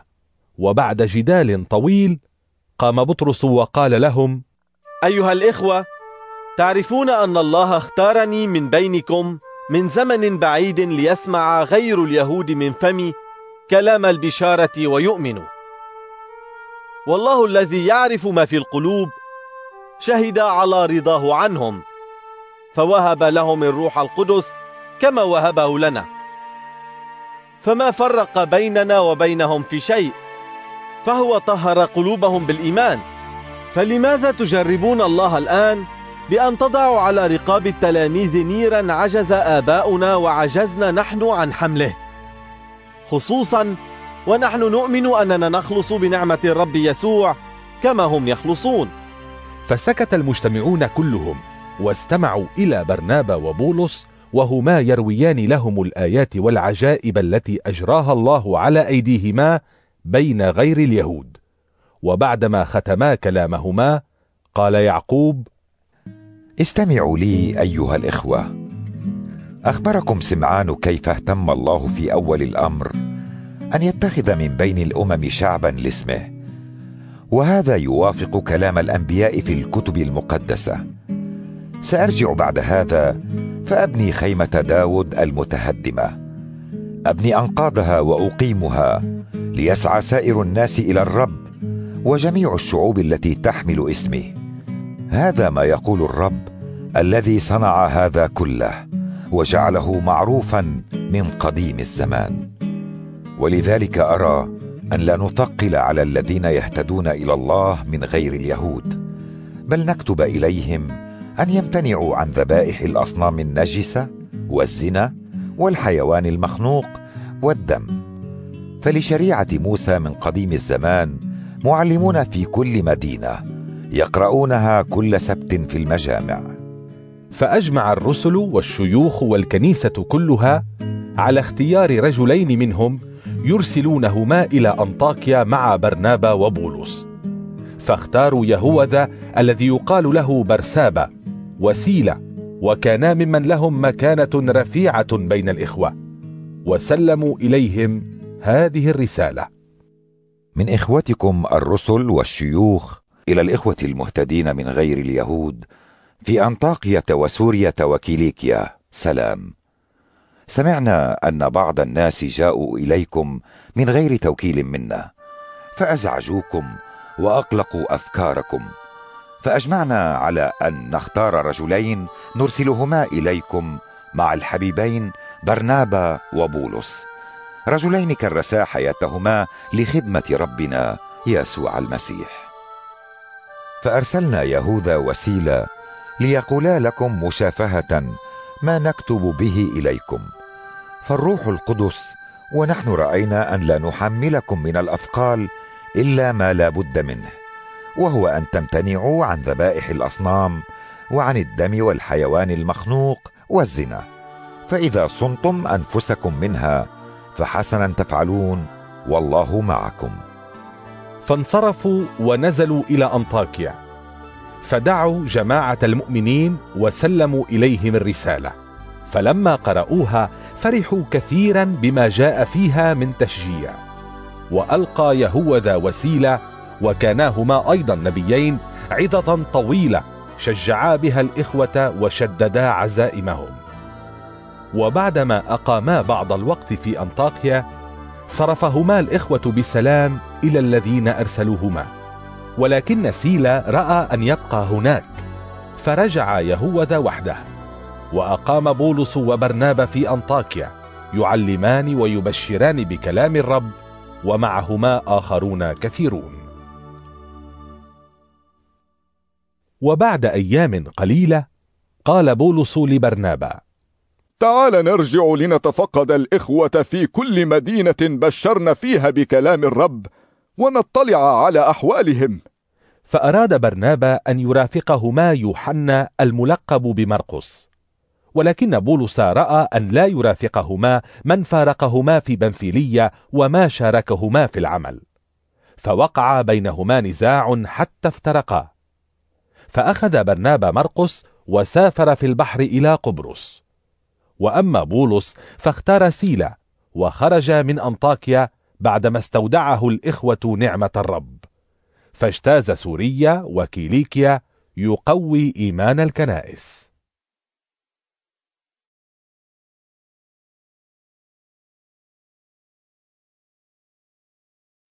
الأصحاح السادس عشر. ووصل بولس إلى دربا ولسترا وكان في لسترا تلميذ اسمه تيموثاوس وهو ابن يهودية مؤمنة وأبوه يوناني. وكان الإخوة في لسترا وإيقونيا يشهدون له شهادة حسنة. فأراد بولس أن يأخذه معه فختنه لأن جميع اليهود هناك كانوا يعرفون أن أباه يوناني. وكانوا يبلغون المؤمنين عند مرورهم في المدن أوامر الرسل والشيوخ في أورشليم. ويوصونهم بأن يعملوا بها. وكانت الكنائس تتقوى في الإيمان ويزداد عددها يوما بعد يوم. ومروا بنواحي فريجية وغلاطية لأن الروح القدس منعهم من التبشير بكلام الله في آسيا. فلما اقتربوا من ميسيا حاولوا أن يدخلوا بيثينية فما سمح لهم روح يسوع. فاجتازوا ميسيا ونزلوا إلى ترواس. وفي الليل رأى بولس رؤيا. فإذا رجل مكدوني واقف يتوسل إليه بقوله أعبر إلى مقدونية وساعدنا. فلما رأى بولس هذه الرؤيا طلبنا السفر في الحال إلى مكدونية متيقنين أن الله دعانا إلى التبشير فيها. فركبنا السفينة من ترواس متجهين إلى ساموتراكية وفي الغد إلى نيابوليس ومنها إلى فيليبي وهي أكبر مدينة في ولاية مكدونية ومستعمرة رومانية فقضينا بضعة أيام فيها. وفي يوم السبت خرجنا من المدينة إلى ضفة النهر متوقعين أن نجد هناك مكانا يهوديا للصلاة. فجلسنا نتحدث إلى النساء المجتمعات هناك وكانت فيهن امرأة تصغي إلينا اسمها ليدية من مدينة ثياتيرا تبيع الأرجوان وتعبد الله. ففتح الله قلبها لتصغي إلى كلام بولس. فلما تعمدت هي وأهل بيتها قالت لنا راجية ادخلوا بيتي وأقيموا فيه إذا كنتم تحسبوني مؤمنة بالرب. فأجبرتنا على قبول دعوتها. وكنا في أحد الأيام ذاهبين إلى الصلاة فصادفتنا جارية بها روح عراف وكانت تجني من عرافتها مالا كثيرا لأسيادها. فأخذت تتبع بولس وتتبعنا وهي تصيح هؤلاء الرجال عبيد الله العلي يبشرونكم بطريق الخلاص. وفعلت ذلك عدة أيام حتى غضب بولس فالتفت إليها وقال للروح آمرك باسم يسوع المسيح أن تخرج منها.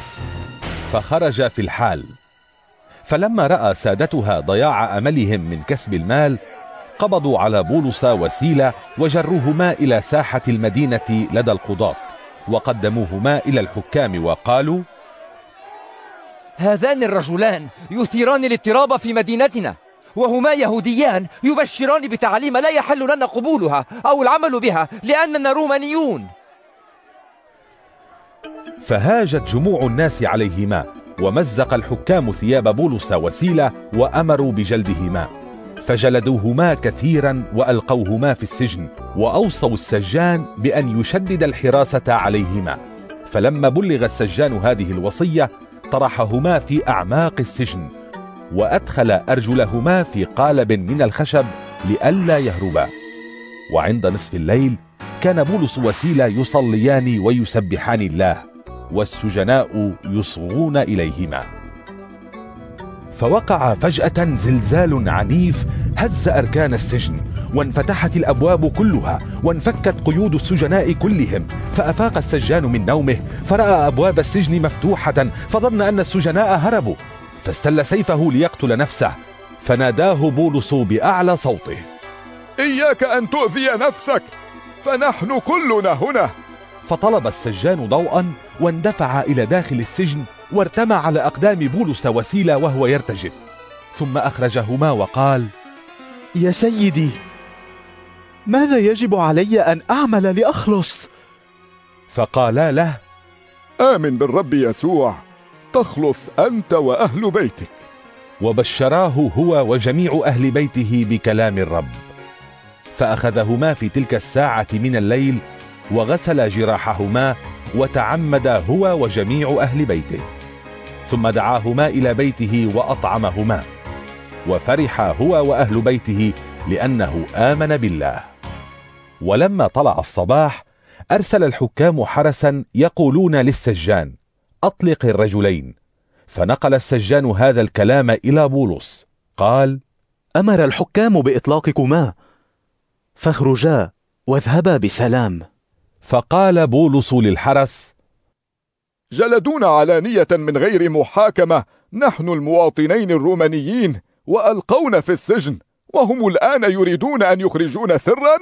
كلا بل يجيء الحكام بأنفسهم ويخرجونه فنقل الحرس هذا الكلام إلى الحكام.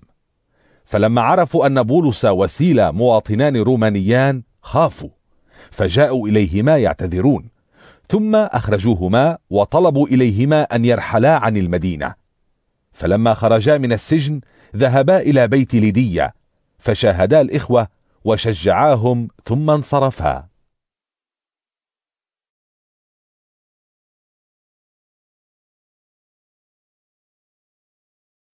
الأصحاح السابع عشر.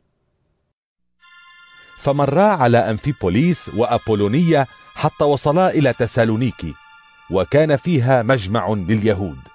فدخل بولس المجمع كعادته فجادلهم ثلاثة سبوت مستعينا بالكتب المقدسة يشرحها ويبين لهم كيف كان يجب على المسيح أن يتألم ويقوم من بين الأموات. وقال يسوع هذا الذي أبشركم به هو المسيح.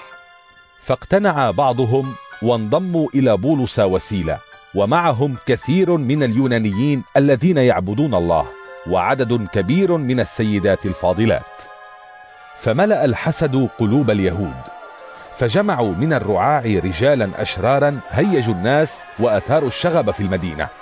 ثم جاءوا إلى بيت ياسون يطلبون بولس وسيلة ليسلموهما إلى الشعب المحتشد. فما وجدوهما. فساقوا ياسون وبعض الإخوة إلى حكام المدينة وهم يصيحون.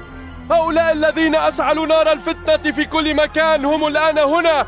في ضيافة ياسون وكلهم يخالفون أوامر القيصر فيقولون هناك ملك آخر اسمه يسوع فأثاروا بهذا الكلام جموع الشعب والحكام فأخذوا كفالة من ياسون والآخرين ثم أطلقوهم.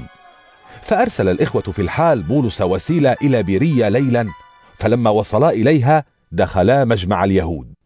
وكان هؤلاء أكثر تسامحا من الذين في تسالونيكي فأصغوا إلى كلام الله برغبة شديدة وأخذوا يفحصون الكتب المقدسة كل يوم ليعرفوا صحة تعاليم بولس وسيلة. فآمن كثير منهم وآمن من اليونانيين نساء شريفات وعدد كبير من الرجال. فلما عرف اليهود في تسالونيكي أن بولس يبشر بكلام الله في برية جاءوا إليها وأخذوا يحرضون الجموع ويهيجونهم. فأرسل الإخوة بولس في الحال نحو البحر وبقي سيلا وتيموثاوس مدة في برية أما الذين رافقوا بولس فأوصلوه إلى أثينا ثم رجعوا بوصية منه إلى سيلا وتيموثاوس أن يلحقا به في أسرع ما يمكن. وبينما بولس في أثينا ينتظر سيلا وتيموثاوس ثار غضبه عندما رأى المدينة مملوءة بالأصنام. فأخذ يناقش اليهود والمتعبدين لله في المجمع ومن يصادفهم كل يوم في ساحة المدينة. وكان جماعة من الفلاسفة الأبيقوريين والرواقيين يجادلونه فقال بعضهم ماذا يريد هذا الثرثار أن يقول؟ وقال آخرون هو يبشر بآلهة غريبة. لأن بولس كان يبشر بيسوع والقيامة. فأخذوا بولس إلى مجلس المدينة في الأريوباغوس وقالوا له نريد أن نعرف هذا المذهب الجديد الذي تبشر به. لأن تعاليمه غريبة على مسامعنا ونحن نرغب في معرفة معناها. وكان الأثينيون جميعا والمقيمون بينهم من الأجانب يصرفون أوقات فراغهم كلها في أن يقولوا أو يسمعوا شيئا جديدا.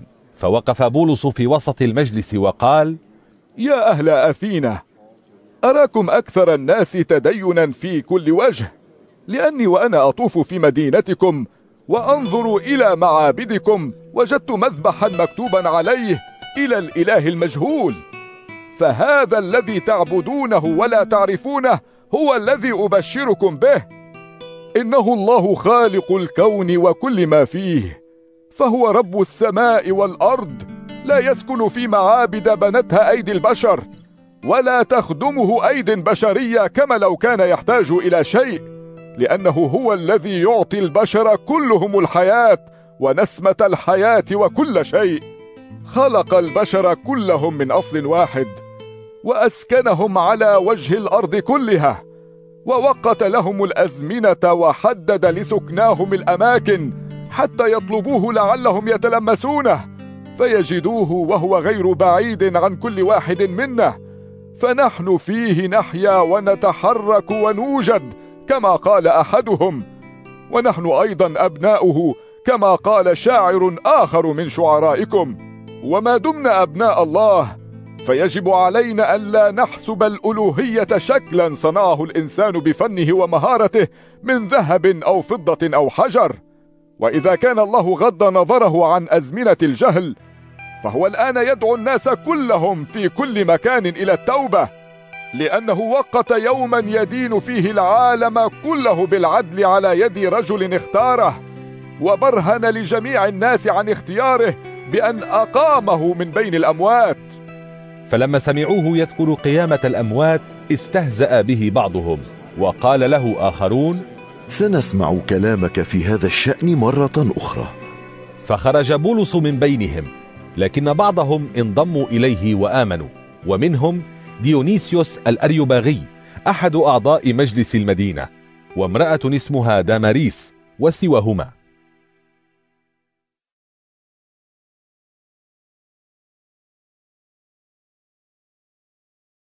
الأصحاح الثامن عشر. وترك بعد ذلك أثينا وجاء إلى كورنثوس. فوجد يهوديا من أهل البنط اسمه أكيلا جاء من وقت قريب من إيطاليا هو وامرأته بريسكيلا لأن القيصر كلاوديوس أمر جميع اليهود بالرحيل عن روما. فجاء بولس إليهما وأقام يعمل عندهما لأنه كان من أهل صناعتهما صناعة الخيام. وكان في كل سبت يجادل اليهود واليونانيين في المجمع محاولا إقناعهم. فلما وصل سيلا وتيموثاوس من مكدونية حصر بولس كل همه في التبشير بكلمة الله شاهدا لليهود على أن يسوع هو المسيح. ولكنهم كانوا يعارضون ويشتمون فنفض ثوبه وقال لهم دمكم على رؤوسكم أنا بريء منكم. سأذهب بعد اليوم إلى غيركم من الشعوب. فانتقل من هناك إلى بيت ملاصق للمجمع يسكنه رجل غير يهودي يعبد الله اسمه تيتيوس يوستوس. فآمن كريسبوس رئيس المجمع بالرب هو وجميع أهل بيته. وكان كثير من أهل كورنثوس يسمعون كلام بولس فيؤمنون ويتعمدون. فقال الرب لبولس ليلا في رؤيا له لا تخف بل تكلم ولا تسكت فأنا معك ولن يؤذيك أحد. فلي شعب كبير في هذه المدينة. فأقام سنة وستة أشهر يعلم الناس كلام الله. ولما صار غاليون حاكما على أخائيا تجمع اليهود كلهم وهجموا على بولس وساقوه إلى المحكمة وقالوا هذا الرجل يحاول أن يقنع الناس بأن يعبدوا الله عبادة تخالف الشريعة. فأراد بولس أن يتكلم. فقال غاليون لليهود أيها اليهود لو كان في المسألة جرم أو جناية لسمعت شكواكم كما يقضي الحق. أما أن تكون المسألة جدلا في الألفاظ والأسماء وفي شريعتكم فتدبروا أنتم هذا الأمر لأني لا أريد أن أكون قاضيا فيه. وطردهم من المحكمة. فقبضوا كلهم على سستانيس رئيس المجمع وضربوه قدام المحكمة وغاليون لا يبالي. وأقام بولس مدة من الزمن في كورنثوس ثم ودع الإخوة وسافر في البحر إلى سوريا ومعه برسكيلا وأكيلا فحلق رأسه في كنخيرية لنذر كان عليه. ولما وصلوا إلى أفسس فارقهما ودخل المجمع يجادل اليهود. فطلبوا إليه أن يطيل الإقامة بينهم فاعتذر. ولكنه قال لهم عندما ودعهم سأعود إليكم إن شاء الله. وسافر في البحر من أفسس فنزل في قيصرية ومنها صعد إلى أورشليم وسلم على الكنيسة. ثم نزل إلى أنطاكيا وبعدما صرف فيها بعض الوقت خرج وسار في غلاطيا وفريجية يقوي عزائم التلاميذ. وجاء إلى أفسس يهودي اسمه أبولس من أهل الإسكندرية فصيح اللسان قدير في شرح الكتب المقدسة. تلقن مذهب الرب فاندفع يتكلم بحماسة ويعلم تعليما صحيحا ما يختص بيسوع ولكنه كان لا يعرف إلا معمودية يوحنا. فلما بدأ يتكلم بجرأة في المجمع سمعه برسكيلا وأكيلا فأخذاه إلى بيتهما وشرحا له مذهب الله شرحا دقيقا. ثم عزم على السفر إلى آخائيا فشجعه الإخوة وكتبوا إلى التلاميذ هناك أن يرحبوا به. فلما وصل إلى آخائيا كان بنعمة الله عونا كبيرا للمؤمنين لأنه كان بقوة حججه يسكت اليهود علانية ويبين لهم من الكتب المقدسة أن يسوع هو المسيح.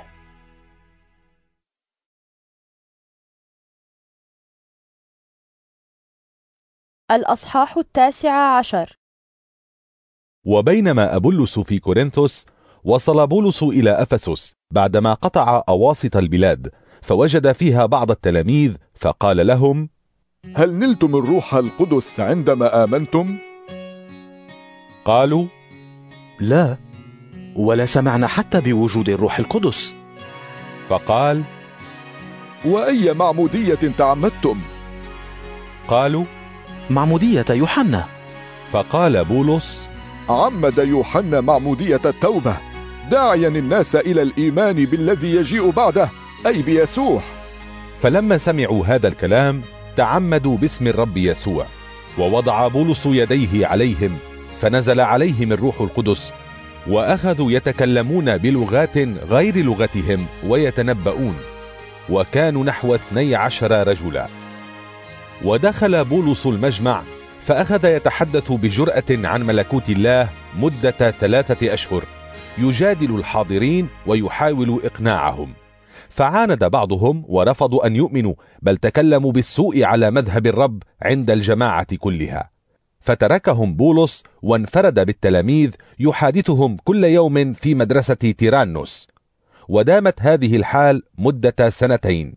حتى سمع جميع سكان آسيا من يهود ويونانيين كلام الرب. وكان الله يجري على يد بولس معجزات عجيبة حتى صار الناس يأخذون إلى مرضاهم ما لامس جسده من مناديل أو مآزر فتزول الأمراض عنهم وتخرج الأرواح الشريرة. وحاول بعض اليهود المتجولين الذين يطردون الأرواح الشريرة أن يستخدموا اسم الرب يسوع. فكانوا يقولون للأرواح الشريرة آمرك باسم يسوع الذي يبشر به بولس.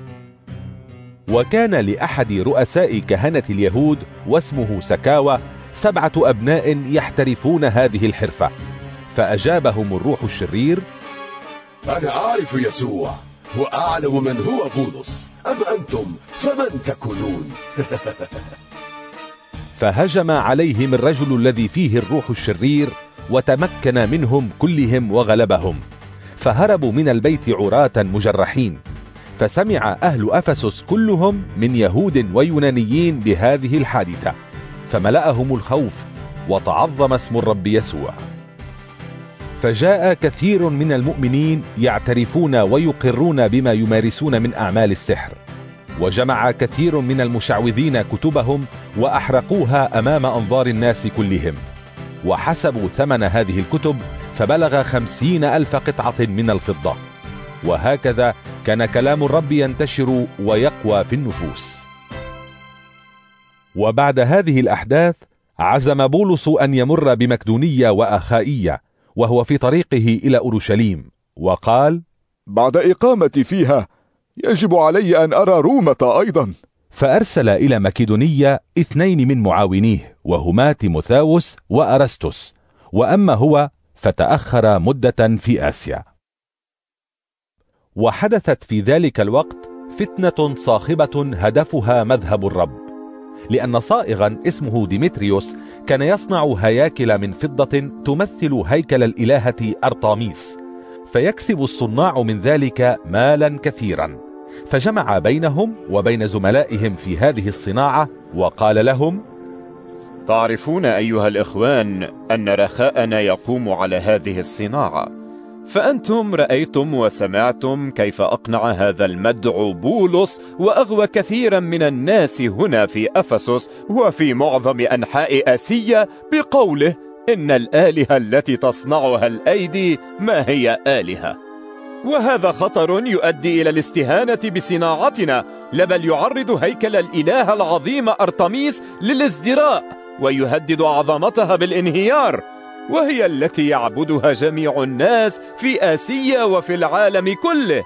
فلما سمع الحاضرون هذا الكلام غضبوا كثيرا وأخذوا يصيحون العظمة لأرتميس إلهة أفسس وعم الشغب المدينة كلها فهجموا دفعة واحدة على غايوس وأرسترخس وهما مقدونيان يرافقان بولس في رحلته وجروهما إلى ملعب المدينة. وأراد بولس أن يواجه الجموع فمنعه التلاميذ وأرسل إليه بعض أعيان آسيا من أصدقائه يرجون منه أن لا يتعرض لخطر الذهاب إلى الملعب. وسادت الفوضى فكان بعضهم ينادون بشيء وبعضهم بشيء آخر. وأكثرهم يجهلون لماذا اجتمعوا. ودفع اليهود إسكندر إلى الأمام فأشار بيده يريد أن يخاطب الجموع. فلما عرفوا أنه يهودي أخذوا يصيحون بصوت واحد نحو ساعتين. العظمة لأرتميس إلهة أفسس.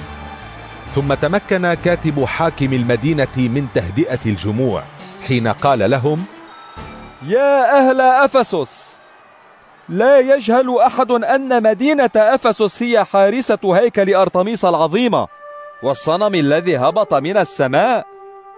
لا خلاف في ذلك. إذا عليكم أن تهدأوا ولا تتهوروا. جئتم بهذين الرجلين ولا أحد منهما انتهك حرمة أرطميس إلهتنا أو جدف عليها وإذا كان لديمتريوس وأهل صناعته شكوى على أحد فهناك قضاة وحكام. فليذهبوا إليهم. وإذا كان لكم دعوة أخرى فالحكم فيها يكون في جلسة قانونية لئلا نتعرض لتهمة العمل على إثارة الفتنة فيما جرى اليوم. فلا عذر لنا في هذا التجمع. وصرف الجموع بعدما قال هذا الكلام.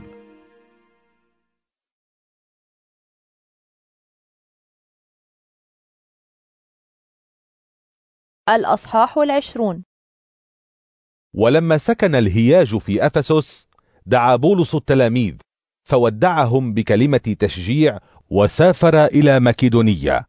وسار في تلك الأنحاء يشجع بكلامه الكثير جماعة المؤمنين. ثم جاء إلى اليونان فأقام فيها ثلاثة أشهر. وبينما هو يستعد للسفر في البحر إلى سوريا تآمر اليهود لقتله. فرأى أن يرجع بطريق مكيدونية.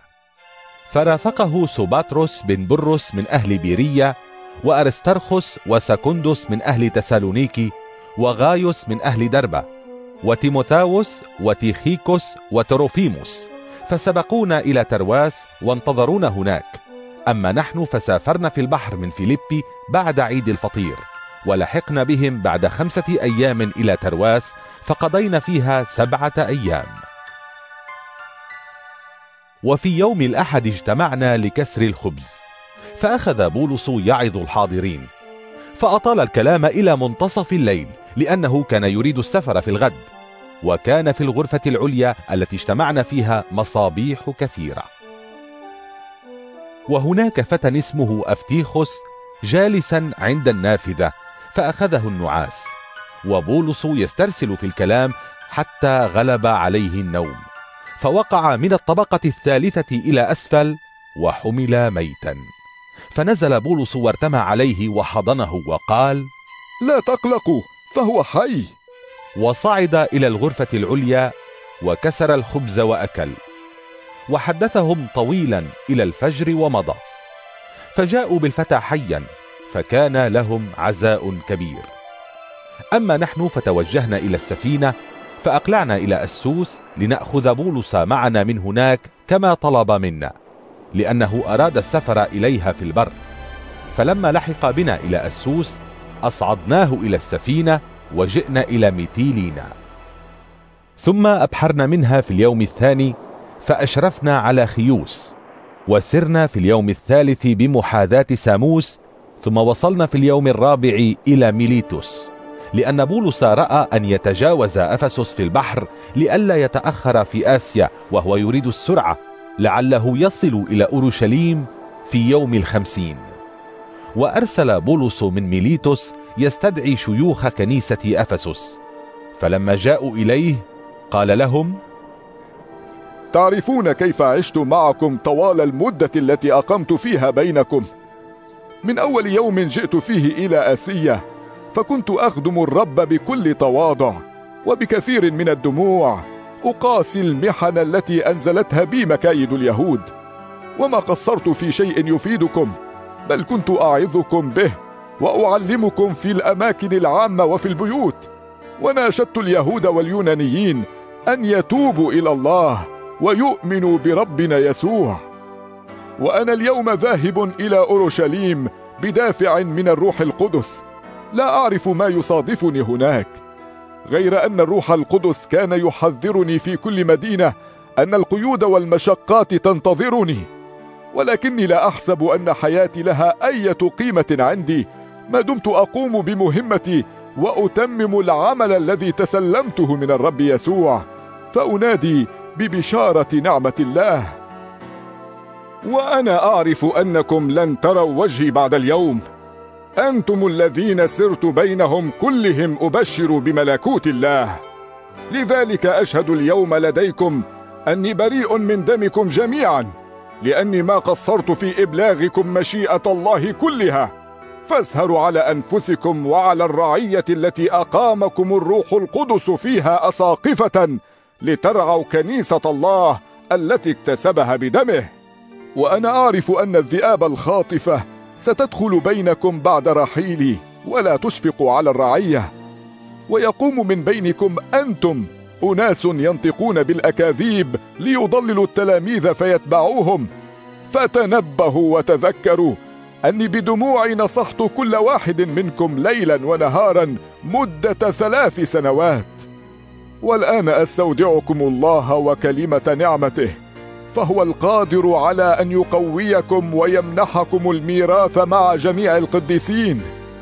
ما اشتهيت يوما فضة أحد أو ذهبه أو ثيابه. وأنتم تعرفون أني بهاتين اليدين اشتغلت وحصلت على ما نحتاج إليه أنا ورفاقي.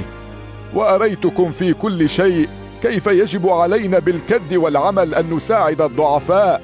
متذكرين كلام الرب يسوع. تبارك العطاء أكثر من الأخذ. ولما ختم بولس كلامه سجد معهم كلهم وصلى وبكوا كثيرا وعانقوا بولس وقبلوه. وكان أكثر ما أحزنهم قوله لهم لن تروا وجهي بعد اليوم. ثم شيعوه إلى السفينة.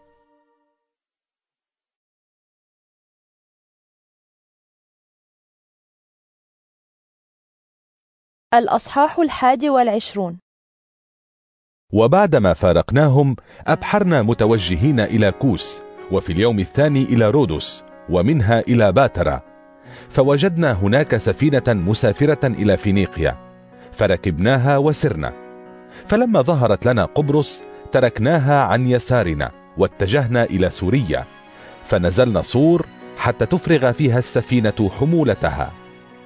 ووجدنا التلاميذ هناك فأقمنا عندهم سبعة أيام وكانوا يقولون لبولس بوحي من الروح أن لا يصعد إلى أورشليم. ولما انقضت مدة إقامتنا بينهم خرجنا للسفر فشيعونا كلهم مع نسائهم وأولادهم إلى خارج المدينة فسجدنا على الشاطئ وصلينا. ثم ودع بعضنا بعضا فصعدنا إلى السفينة ورجعوا هم إلى بيوتهم. ومن صور وصلنا في نهاية الرحلة إلى بتولمايس فسلمنا على الإخوة هناك وأقمنا عندهم يوما واحدا وسرنا في الغد إلى قيصرية. فدخلنا بيت فيليبوس المبشر وهو أحد السبعة ونزلنا عنده. وكان له أربع بنات عذارى يتنبأن.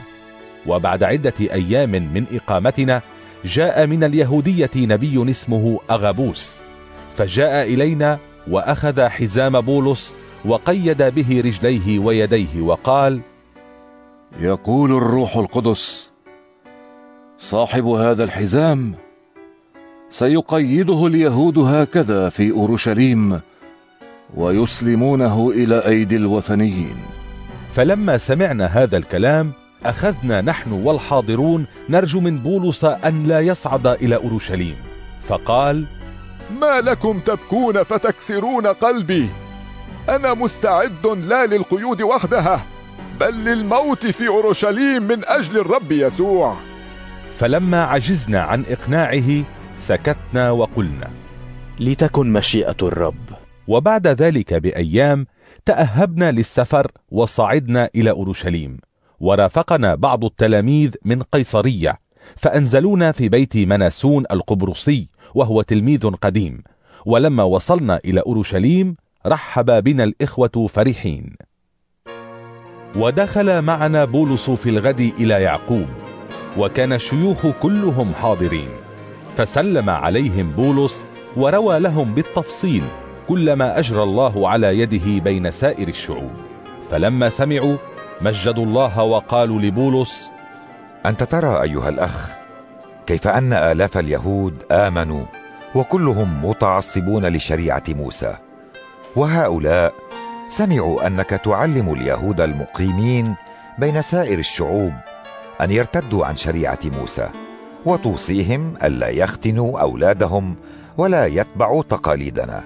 فما العمل؟ لأنهم ولا شك سيسمعون بمجيئك. فاعمل بما نقوله لك. عندنا أربعة رجال عليهم نذر. خذهم واطهر معهم وانفق عليهم ليحلقوا رؤوسهم.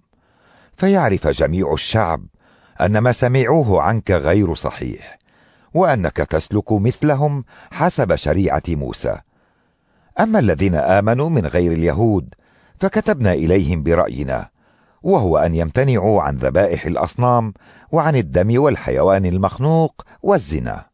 فأخذ بولس الرجال الأربعة في الغد فاطهر معهم ودخل الهيكل وأعلن الموعد الذي تنقضي فيه أيام الطهور حتى يقدم فيه القربان عن كل واحد منهم. ولما كادت تنقضي أيام الطهور السبعة رأى بعض اليهود الآسيويين بولس في الهيكل فحرضوا جمهور الشعب وقبضوا عليه وصاحوا. النجد يا بني إسرائيل هذا هو الرجل الذي يعلم الناس في كل مكان تعليما يسيء إلى شعبنا وشريعتنا وهذا الهيكل حتى إنه جاء ببعض اليونانيين إلى الهيكل ودنس هذا المكان المقدس. قالوا هذا لأنهم شاهدوا تروفيموس الأفسسي مع بولس في المدينة فظنوا أن بولس دخل به الهيكل فهاجت المدينة كلها. وتجمع الناس على بولس فأمسكوه وجروه إلى خارج الهيكل وأغلقوا الأبواب في الحال. وبينما هم يحاولون قتله سمع قائد الحامية الرومانية أن أورشليم كلها في هيجان فأخذ في الحال جنودا وضباطا وجاء مسرعا إليهم. فلما شاهدوا القائد وجنوده كفوا عن ضرب بولس.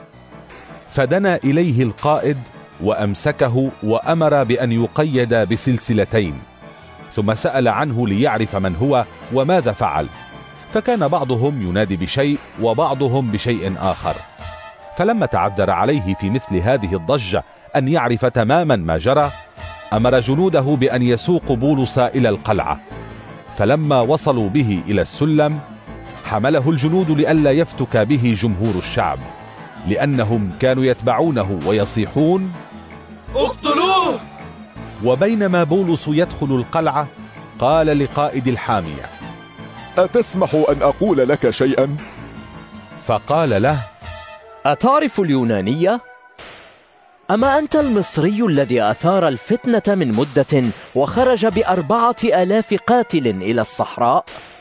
فقال بولس أنا يهودي ومواطن روماني من طرسوس في كيليكية وهي مدينة معروفة جيدا.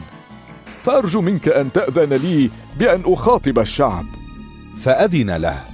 فوقف بولس على السلم وأشار بيده إلى الشعب. فلما ساد السكوت خاطبهم بولس بالعبرية قال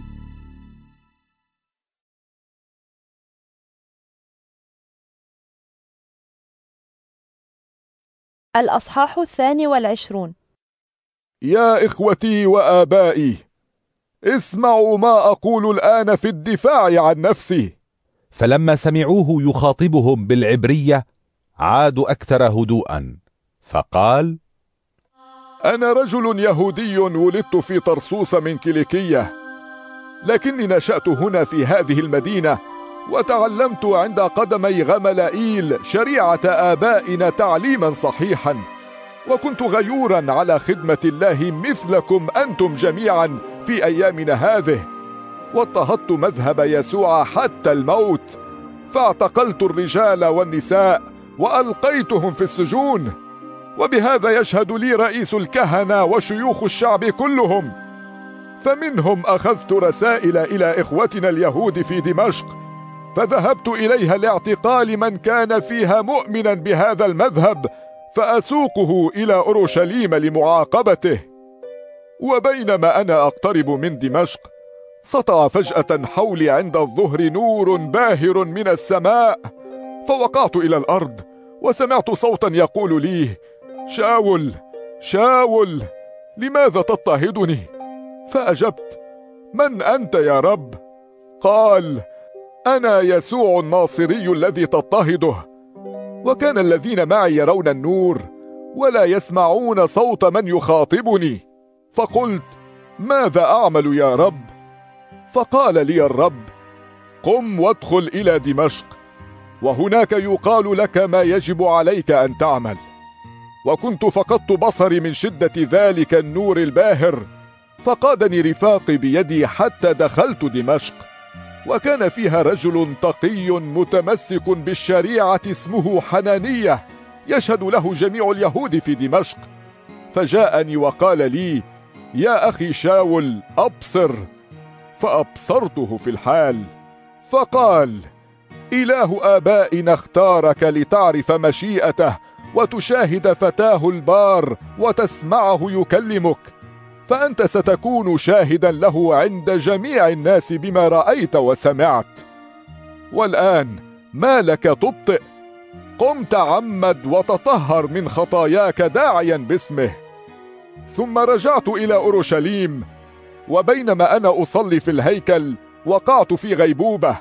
فرأيت الرب يقول لي أسرع في الخروج من أورشليم لأن الشعب هنا لا يقبلون شهادتك لي.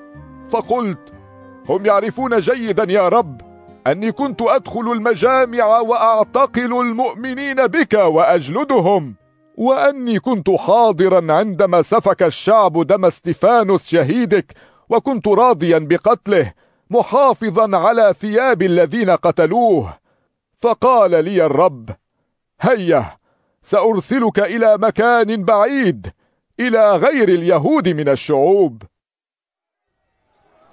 وكانوا يصغون إلى بولس حتى قال هذه الكلمات فصاحوا بأعلى أصواتهم. أزيلوا هذا الرجل عن وجه الأرض هو لا يستحق الحياة. وأخذوا يصيحون ويطرحون ثيابهم ويرمون التراب في الهواء فأمر قائد الحامية رجاله بأن يدخلوا بولس إلى القلعة ويسألوه تحت الضرب ليعرف لماذا يصيح عليه اليهود كل هذا الصياح. فلما مددوه وربطوه ليجلدوه قال للضابط الواقف بجانبه أيحق لكم أن تجلدوا مواطنا رومانيا من غير أن تحاكموه؟ فلما سمع الضابط هذا الكلام أسرع إلى القائد وقال له ماذا تفعل؟ هذا الرجل روماني فجاء القائد إلى بولس وقال له قل لي هل أنت روماني؟ قال نعم فقال القائد أنا دفعت مالا كثيرا حتى حصلت على هذه الجنسية. فقال بولس أما أنا فمولود فيها؟ فتراجع عنه في الحال من كانوا يريدون أن يستجوبوه. وخاف القائد لما عرف أنه روماني وأنه كبله بالقيود. وأراد القائد في الغد أن يعرف حقيقة ما يتهم اليهود به بولس. فحل قيوده وأمر رؤساء الكهنة وجميع أعضاء مجلس اليهود أن يجتمعوا. ثم أنزل بولس وأحضره مجلسهم.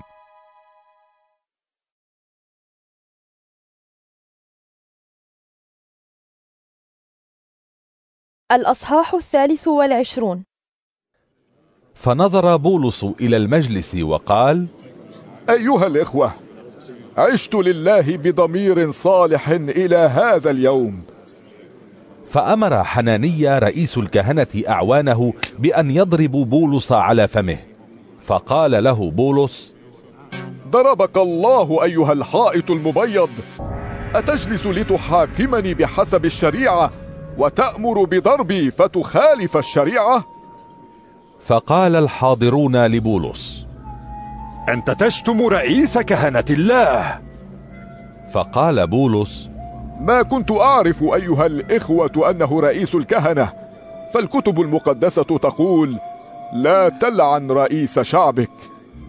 وكان بولس يعرف أن بعضهم صدوقيون والبعض الآخر فريسيون. فصاح في المجلس. أيها الإخوة أنا فريسي ابن فريسي. وأنا أحاكم الآن لأني أرجو قيامة الأموات. فلما قال هذا وقع الخلاف بين الفريسيين والصدوقيين وانقسم المجلس. لأن الصدوقيين لا يؤمنون بقيامة الأموات وبوجود الملائكة والأرواح. وأما الفريسيون فيؤمنون بهذا كله. فارتفع الصياح وقام بعض معلمي الشريعة من الفريسيين وأخذوا يحتجون بشدة. قالوا لا نجد جرما على هذا الرجل. ربما كلمه روح أو ملاك. واشتد الخلاف حتى خاف القائد أن يمزق بولس تمزيقا. فأمر جنوده بأن ينزلوا إليه وينتزعوه من بينهم ويأخذوه إلى القلعة. وفي الليلة الثانية ظهر الرب لبولس وقال له تشجع. فمثل ما شهدت لي في أورشليم هكذا يجب أن تشهد لي في روما. ولما طلع الصباح تآمر اليهود فحلفوا لا يأكلون ولا يشربون حتى يقتلوا بولس. وكان المتآمرون أكثر من أربعين فجاءوا إلى رؤساء الكهنة والشيوخ وقالوا حلفنا لا نذوق شيئا حتى نقتل بولس. فاطلبوا أنتم وأعضاء المجلس من قائد الحامية أن يرسل بولس إليكم. بحجة أنكم تريدون تدقيق النظر في أمره ونكون نحن على استعداد لقتله وهو في طريقه إليكم. وسمع ابن أخت بولس بالكمين فذهب إلى القلعة ودخل على بولس وأخبره بالأمر. فدعا بولس واحدا من الضباط وقال له خذ هذا الشاب إلى القائد لأن عنده ما يقوله له. فأخذه الضابط إلى القائد وقال دعاني السجين بولس وطلب أن أجيء بهذا الشاب إليك لأن عنده ما يقوله لك. فأمسك القائد بيده وانفرد به وسأله ما عندك؟ أخبرني. فقال اتفق اليهود على أن يطلبوا إليك أن تنزل بولس غدا إلى المجلس بحجة أنهم يريدون تدقيق النظر في أمره. فلا تصدقهم لأن أكثر من أربعين رجلا منهم أقاموا له كمينا. وحلفوا لا يأكلون ولا يشربون حتى يقتلوه. وهم الآن على أتم الاستعداد ينتظرون أن تستجيب لهم. فقال القائد للشاب لا تقل لأحد أنك أخبرتني بهذا الأمر. وصرفه من عنده. ثم دعا القائد اثنين من ضباطه وقال لهما أعدا مئتي جندي للذهاب في الساعة التاسعة من الليل إلى قيصرية. ومعهم سبعون فارسا ومئتا مسلح بالرماح. وأعدوا لبولس خيلا تحمله سالما إلى الحاكم فيليكس. وكتب إلى الحاكم برسالة يقول فيها من كلوديوس ليسياس إلى صاحب العزة فيليكس سلام. أمسك اليهود هذا الرجل وكادوا يقتلونه. فلما عرفت أنه روماني أسرعت إليه مع جنودي فأنقذته. وأردت أن أعرف بما يتهمونه. فجئت به إلى مجلسهم. فتبين لي أنهم يتهمونه بمسائل في شريعتهم وأن لا شيء مما يتهمونه به يستوجب الموت أو السجن. ثم سمعت أنهم وضعوا خطة لاغتياله فأرسلته إليك في الحال وأبلغت خصومه أن يرفعوا إليك دعواهم عليه. وقام الجنود بتنفيذ أوامر القائد فأخذوا بولس ليلا إلى أنتباتريس وفي الغد رجعوا إلى القلعة وتركوا الفرسان يواصلون السفر معه. فلما وصل الفرسان إلى قيصرية أدخلوا بولس على الحاكم وسلموا إليه الرسالة. فقرأها وسأل بولس عن الولاية التي ينتمي إليها. فلما عرف أنه من كيليكية قال له سأسمع منك متى حضر خصومك. وأمر جنوده بأن يحرسوا بولس في قصر هيرودس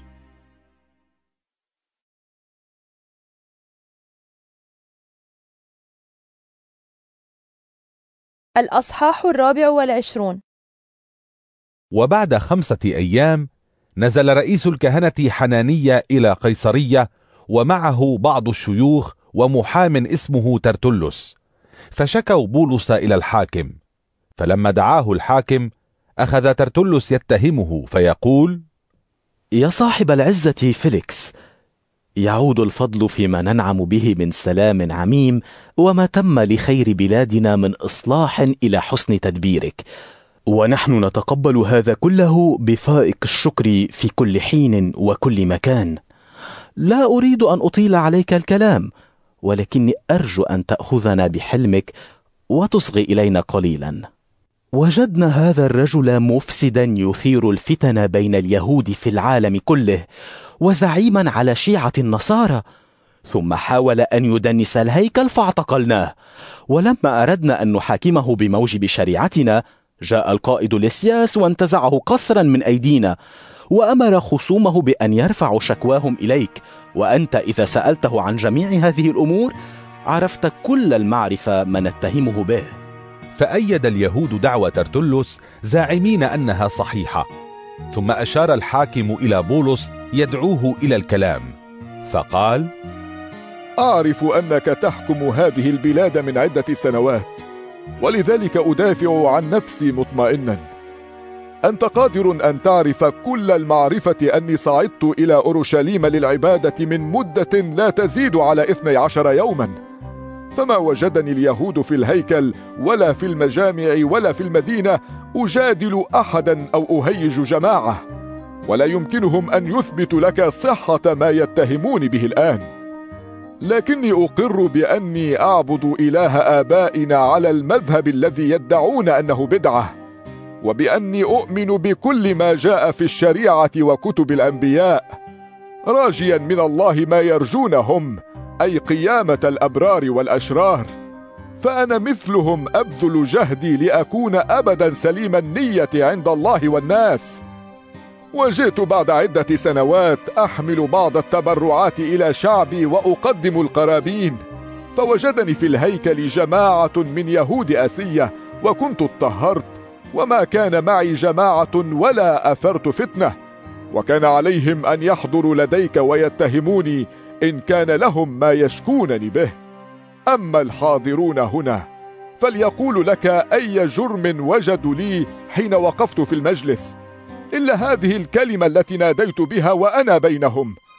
أنتم تحاكمونني اليوم لأني أؤمن بقيامة الأموات. وكان فيليكس واسع الاطلاع على مذهب الرب. فرفع الجلسة وقال متى وصل القائد ليسياس إلى هنا؟ أنظر في دعواكم وأمر أحد الضباط بأن يحرس بولس على أن يكون له بعض الحرية ولا يمنع أحدا من أصحابه أن يخدمه أو يزوره. وبعد أيام قليلة جاء فيليكس ومعه زوجته دروسيلا وكانت يهودية. فاستدعى بولس واستمع إلى كلامه على الإيمان بالمسيح يسوع. ولما تحدث بولس عن الصلاح والعفة ويوم الدينونة ارتعب فيليكس وقال له اذهب الآن ومتى سنحت الفرصة أستدعيك ثانية؟ وكان فيليكس يرجو أن يعطيه بولس شيئا من المال فكان يكثر من استدعائه ومحادثته وبعد سنتين خلفه بوركيوس فستوس في منصبه فأراد فيليكس أن يرضي اليهود فترك بولس في السجن.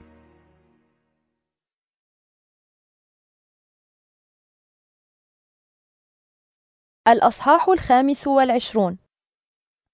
ولما وصل فستوس بعد ثلاثة أيام إلى الولاية صعد من قيصرية إلى أورشليم فعرض له رؤساء الكهنة وزعماء اليهود دعواهم على بولس والتمسوا منه أن يمن عليهم فينقل بولس إلى أورشليم وأقاموا له كمينا في الطريق ليقتلوه. فأجاب فستوس أن بولس يبقى معتقلا في قيصرية وأما هو فسيرجع إليها عاجلا. وقال لينزل معي زعماؤكم إلى قيصرية فإذا كان هذا الرجل مذنبا فليتهموه. وأقام فستوس عندهم أياما لا تزيد على الثمانية أو العشرة ثم نزل إلى قيصرية. وفي الغد جلس للقضاء وأمر بإحضار بولس.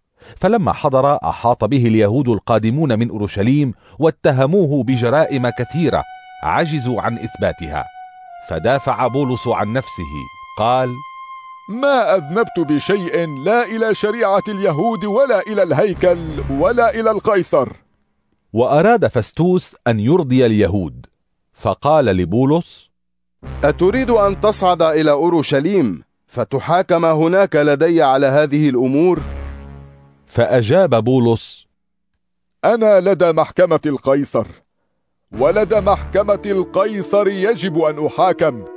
أنت تعرف حق المعرفة أني ما أسأت إلى اليهود بشيء. فإذا ثبت أني أذنبت أو ارتكبت ما أستوجب به الموت فأنا لا أتهرب من الموت. أما إذا كان ما يتهموني به باطلا فلا يجوز لأحد أن يسلمني إليهم. وإلى القيصر أرفع دعواي. فتشاور فستوس ومعاونوه ثم أجاب. رفعت إلى القيصر دعواك فإلى القيصر تذهب.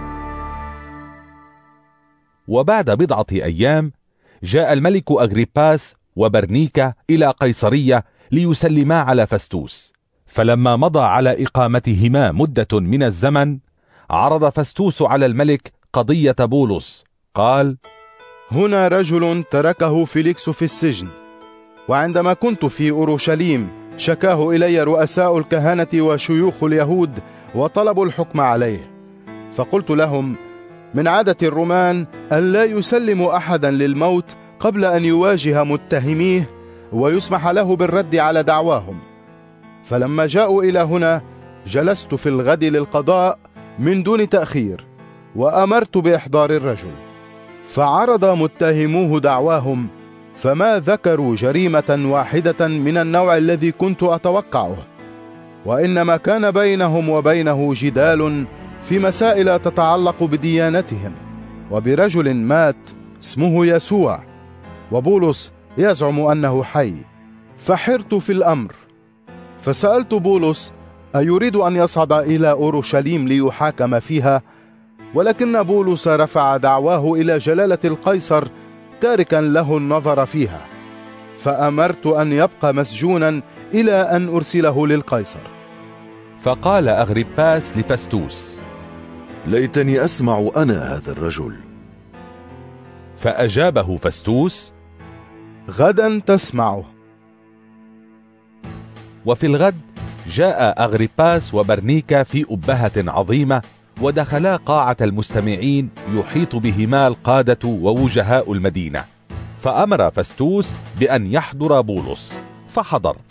فقال فستوس أيها الملك أغرباس ويا جميع الحاضرين معنا هذا الرجل الذي ترونه شكاه إلي الشعب اليهودي كله في أورشليم وهنا وكانوا يصرخون يجب أن لا يترك حيا. وأما أنا فما وجدت أنه فعل شيئا يستوجب به الموت ولكنه رفع دعواه إلى جلالة القيصر فعزمت أن أرسله إليه وأنا لا أملك شيئا أكيدا أكتب به إلى جلالته فأحضرته لديكم ولديك خصوصا أيها الملك أغرباس حتى إذا سألتموه عن قضيته حصلت على شيء أكتبه. فمن الحماقة في نظري أن أرسل سجينا من غير أن أوضح التهم التي عليه.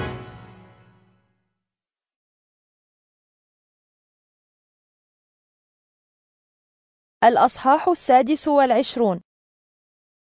فقال أغرباس لبولس نأذن لك أن تدافع عن نفسك. فأشار بولس بيده وقال في دفاعه أيها الملك أغرباس يسرني أن أدافع عن نفسي اليوم لديك وأرد على كل ما يتهمني به اليهود خصوصا إنك مطلع كل الاطلاع على تقاليد اليهود ومجادلاتهم. فأرجو أن يتسع صدرك لكلامي. يعرف جميع اليهود ما كانت عليه سيرتي من أيام صغري وكيف نشأت وعشت بين شعبي في أورشليم. فهم يعرفوني من عهد بعيد ولو أرادوا لشهدوا أني اتبعت أكثر المذاهب في ديانتنا تشددا فعشت فريسيا وأنا الآن أحاكم لأني أرجو ما وعد الله به آباءنا. وما ترجو عشائر بني إسرائيل الاثنتا عشرة تحقيقه عابدين الله ليل نهار. بهذا الرجاء أيها الملك يتهمني اليهود. فلماذا لا تصدقون أن الله يقيم الأموات؟ أما أنا فكنت أعتقد أنه يجب أن أقاوم اسم يسوع الناصري بكل جهدي. وهذا ما فعلت في أورشليم فسجنت بتفويض من رؤساء الكهنة عددا كبيرا من القديسين. ولما كانوا يقتلون كنت موافقا على قتلهم وكثيرا ما عذبتهم في كل مجمع لأجبرهم على إنكار إيمانهم. واشتدت نقمتي عليهم حتى أخذت أطاردهم في المدن التي في خارج اليهودية. فسافرت إلى دمشق وبيدي سلطة وتفويض من رؤساء الكهنة. وفي الطريق عند الظهر رأيت أيها الملك نورا من السماء أبهى من شعاع الشمس يسطع حولي وحول المسافرين معي. فوقعنا كلنا إلى الأرض وسمعت صوتا يقول لي بالعبرية شاول شاول! لماذا تضطهدني؟ صعب عليك أن تقاومني. فقلت من أنت يا رب؟ قال الرب أنا يسوع الذي تضطهده أنت. قم وقف على قدميك لأني ظهرت لك لأجعل منك خادما لي وشاهدا على هذه الرؤيا التي رأيتني فيها وعلى غيرها من الرؤى التي سأظهر فيها لك. سأنقذك من شعب إسرائيل ومن سائر الشعوب التي سأرسلك إليهم. لتفتح عيونهم فيرجعوا من الظلام إلى النور ومن سلطان الشيطان إلى الله فينالوا بإيمانهم بي غفران خطاياهم وميراثا مع القديسين. ومن تلك الساعة أيها الملك اغرباس ما عصيت الرؤيا السماوية فبشرت أهل دمشق اولا. ثم أهل أورشليم وبلاد اليهودية كلها ثم سائر الأمم داعيا إلى التوبة والرجوع إلى الله والقيام بأعمال تدل على التوبة. ولهذا قبض علي اليهود وأنا في الهيكل وحاولوا قتلي. ولكن الله أعانني إلى هذا اليوم لأشهد له عند الصغير والكبير ولا أقول إلا ما أنبأ به موسى والأنبياء. من أن المسيح يتألم ويكون أول من يقوم من بين الأموات ويبشر اليهود وسائر الشعوب بنور الخلاص. وبينما بولس يدافع عن نفسه بهذا الكلام صاح فستوس بأعلى صوته. أنت مجنون يا بولس. سعة علمك أفقدتك عقلك. فأجابه بولس كيف أكون مجنونا يا صاحب العزة فستوس؟ وأنا أنطق بالحق والصواب فالملك الذي أخاطبه الآن بكل صراحة يعرف هذه الأمور وأعتقد أنه لا يخفى عليه شيء منها لأنها ما حدثت في زاوية خفية أتؤمن بالأنبياء أيها الملك أغرباس؟ أنا أعلم أنك تؤمن بهم فقال أغرباس لبولس أبقليل من الوقت تريد أن تجعل مني مسيحيا؟ فأجابه بولس إن بالقليل أو بالكثير فرجائي من الله لك ولجميع الذين يسمعون اليوم أن يصيروا إلى الحال التي أنا عليها ما عدا هذه القيود. فنهض الملك والحاكم وبرنيكا والجالسون معهم فقال بعضهم لبعض وهم منصرفون ما عمل هذا الرجل شيئا يستوجب به الموت أو السجن؟ وقال أغرباس لفستوس كان يمكن إخلاء سبيل هذا الرجل لولا أنه رفع دعواه إلى القيصر.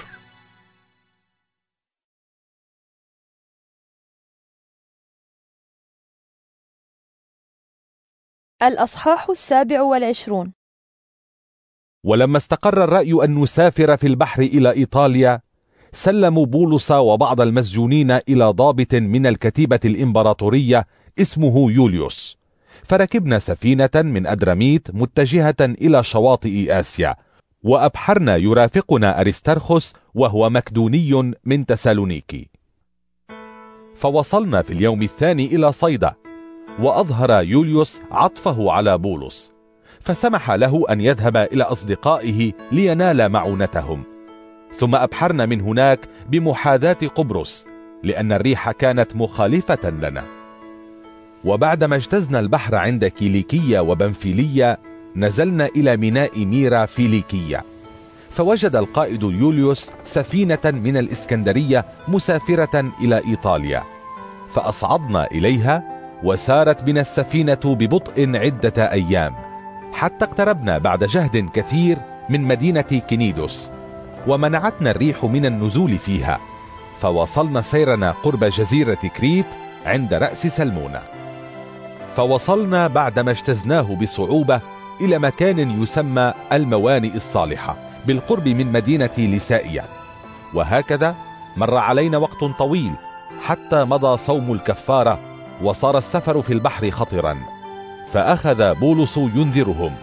قال أيها الرفاق أرى في السفر من هنا خطرا وخسارة كبيرة لا تقتصر على السفينة وحمولتها. بل على أرواحنا أيضا. لكن الضابط اقتنع بكلام القبطان وصاحب السفينة أكثر مما اقتنع بكلام بولس. وكان الميناء غير صالح لقضاء فصل الشتاء. فرأى أكثرهم أن يرحلوا عنه على أمل أن يصلوا إلى فينيكس. وهو ميناء في جزيرة كريت يواجه الجنوب الغربي والشمال الغربي فيقضون فصل الشتاء فيه. فلما نسمت ريح جنوبية خفيفة ظنوا أنهم نالوا مطلبهم. فرفعوا المرساة وساروا بمحاذاة شاطئ كريت. ولكن ريحا شرقية شمالية عاصفة يقال لها أوروكليون ثارت بعد قليل من جهة الجزيرة وضربت السفينة. فلما تعذر على السفينة أن تقاومها اندفعت السفينة في مهب الريح. واحتمينا من الريح عند مرورنا بمحاذاة جزيرة صغيرة اسمها كودة. فتمكنا بعد جهد أن ننقذ قارب النجاة. فلما رفعوه إلى السفينة احتاطوا للأمر فشدوا وسطها بالحبال وخافوا أن تندفع السفينة إلى الرمال المتحركة عند ساحل ليبيا.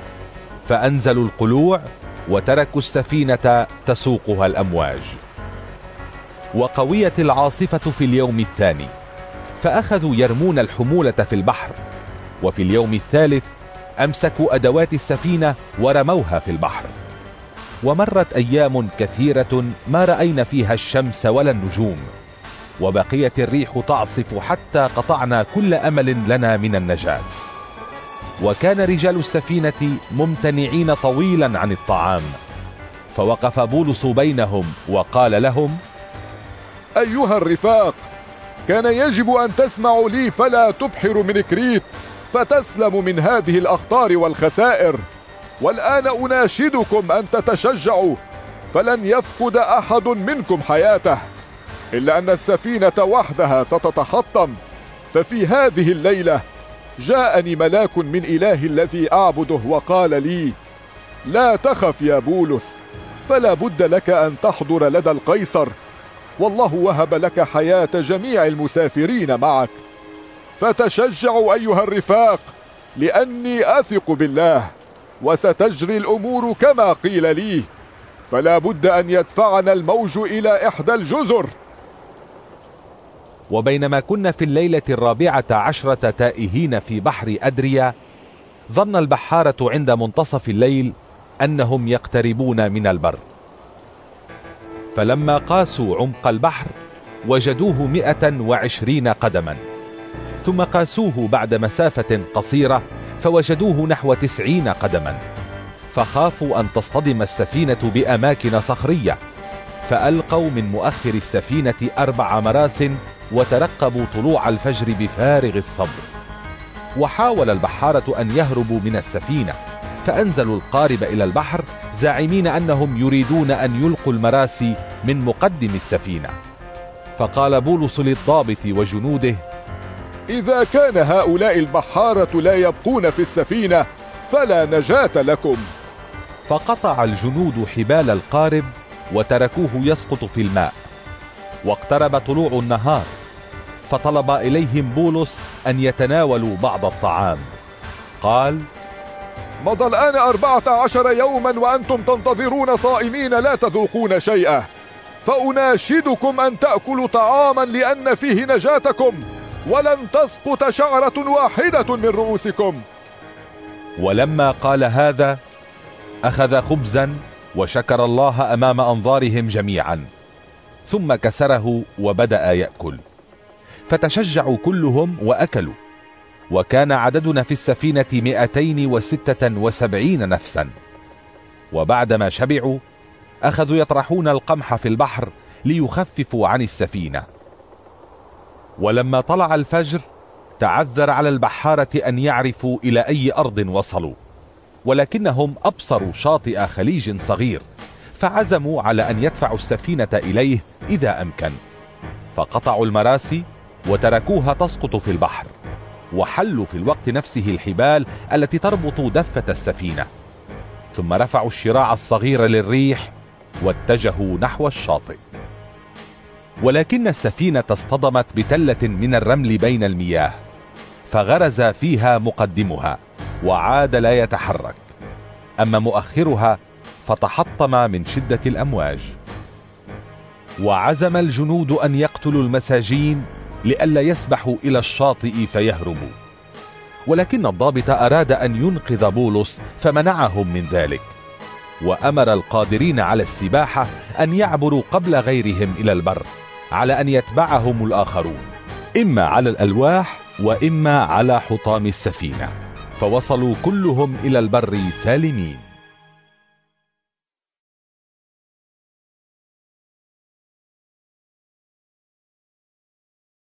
الأصحاح الثامن والعشرون.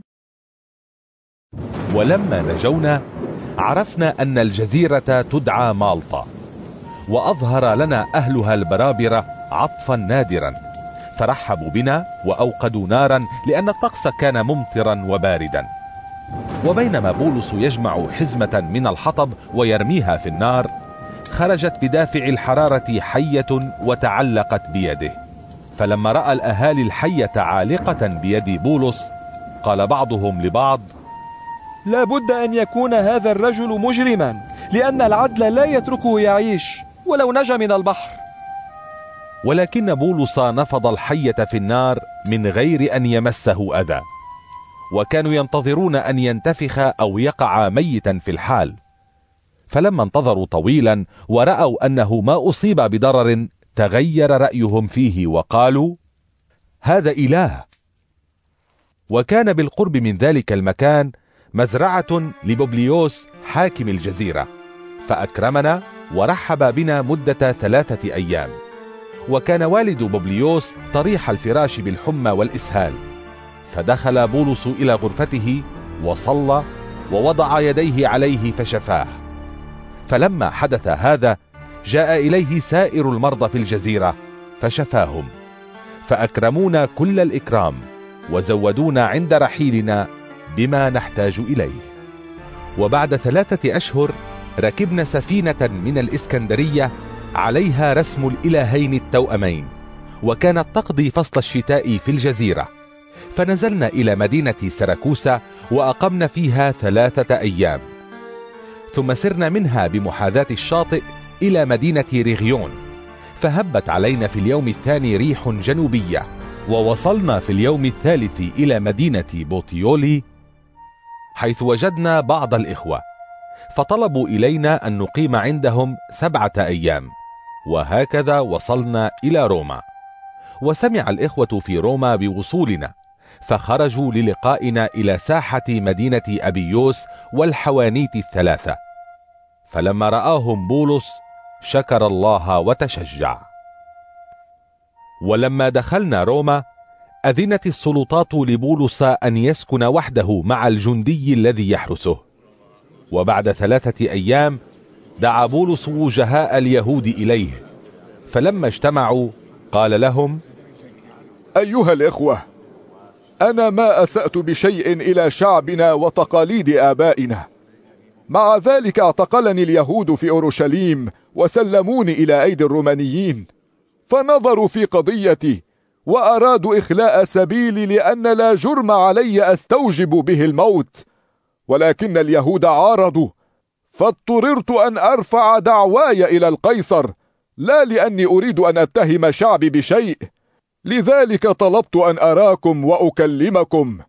فأنا أحمل هذا القيد من أجل رجاء إسرائيل. فقالوا له ما تلقينا كتابا في شأنك من اليهودية ولا جاءنا أحد من الإخوة هناك فأخبرنا شيئا عنك أو تكلم عليك بسوء. ولكننا نود أن نسمع منك رأيك لأننا نعرف أن الناس في كل مكان تستنكر هذا المذهب. فتواعدوا على يوم جاءوا فيه إلى منزل بولس وهم أكثر عددا. فأخذ بولس يحدثهم من الصباح إلى المساء شاهدا لملكوت الله محاولا أن يقنعهم برسالة يسوع استنادا إلى شريعة موسى وكتب الأنبياء. فاقتنع بعضهم بكلامه وأنكر البعض الآخر. وقبل أن ينصرفوا من عنده وهم غير متفقين قال لهم بولس هذه الكلمة. صدق الروح القدس في قوله لآبائكم بلسان النبي إشعيا اذهب إلى هذا الشعب وقل له مهما سمعتم لا تفهمون ومهما نظرتم لا تبصرون تحجر قلب هذا الشعب فسدوا آذانهم وأغمضوا عيونهم لئلا يسمعوا بآذانهم ويبصروا بعيونهم ويفهموا بقلوبهم ويتوبوا فأشفيهم. ثم قال لهم فليكن معلوما عندكم أن الله أرسل خلاصه هذا إلى غير اليهود من الشعوب وهم سيستمعون إليه. فلما قال هذا الكلام خرج اليهود من عنده وهم في جدال عنيف. وأقام بولس سنتين كاملتين في المنزل الذي استأجره يرحب بكل من كان يزوره فيبشر بملكوت الله معلنا بكل جرأة وحرية تعليمه في الرب يسوع المسيح.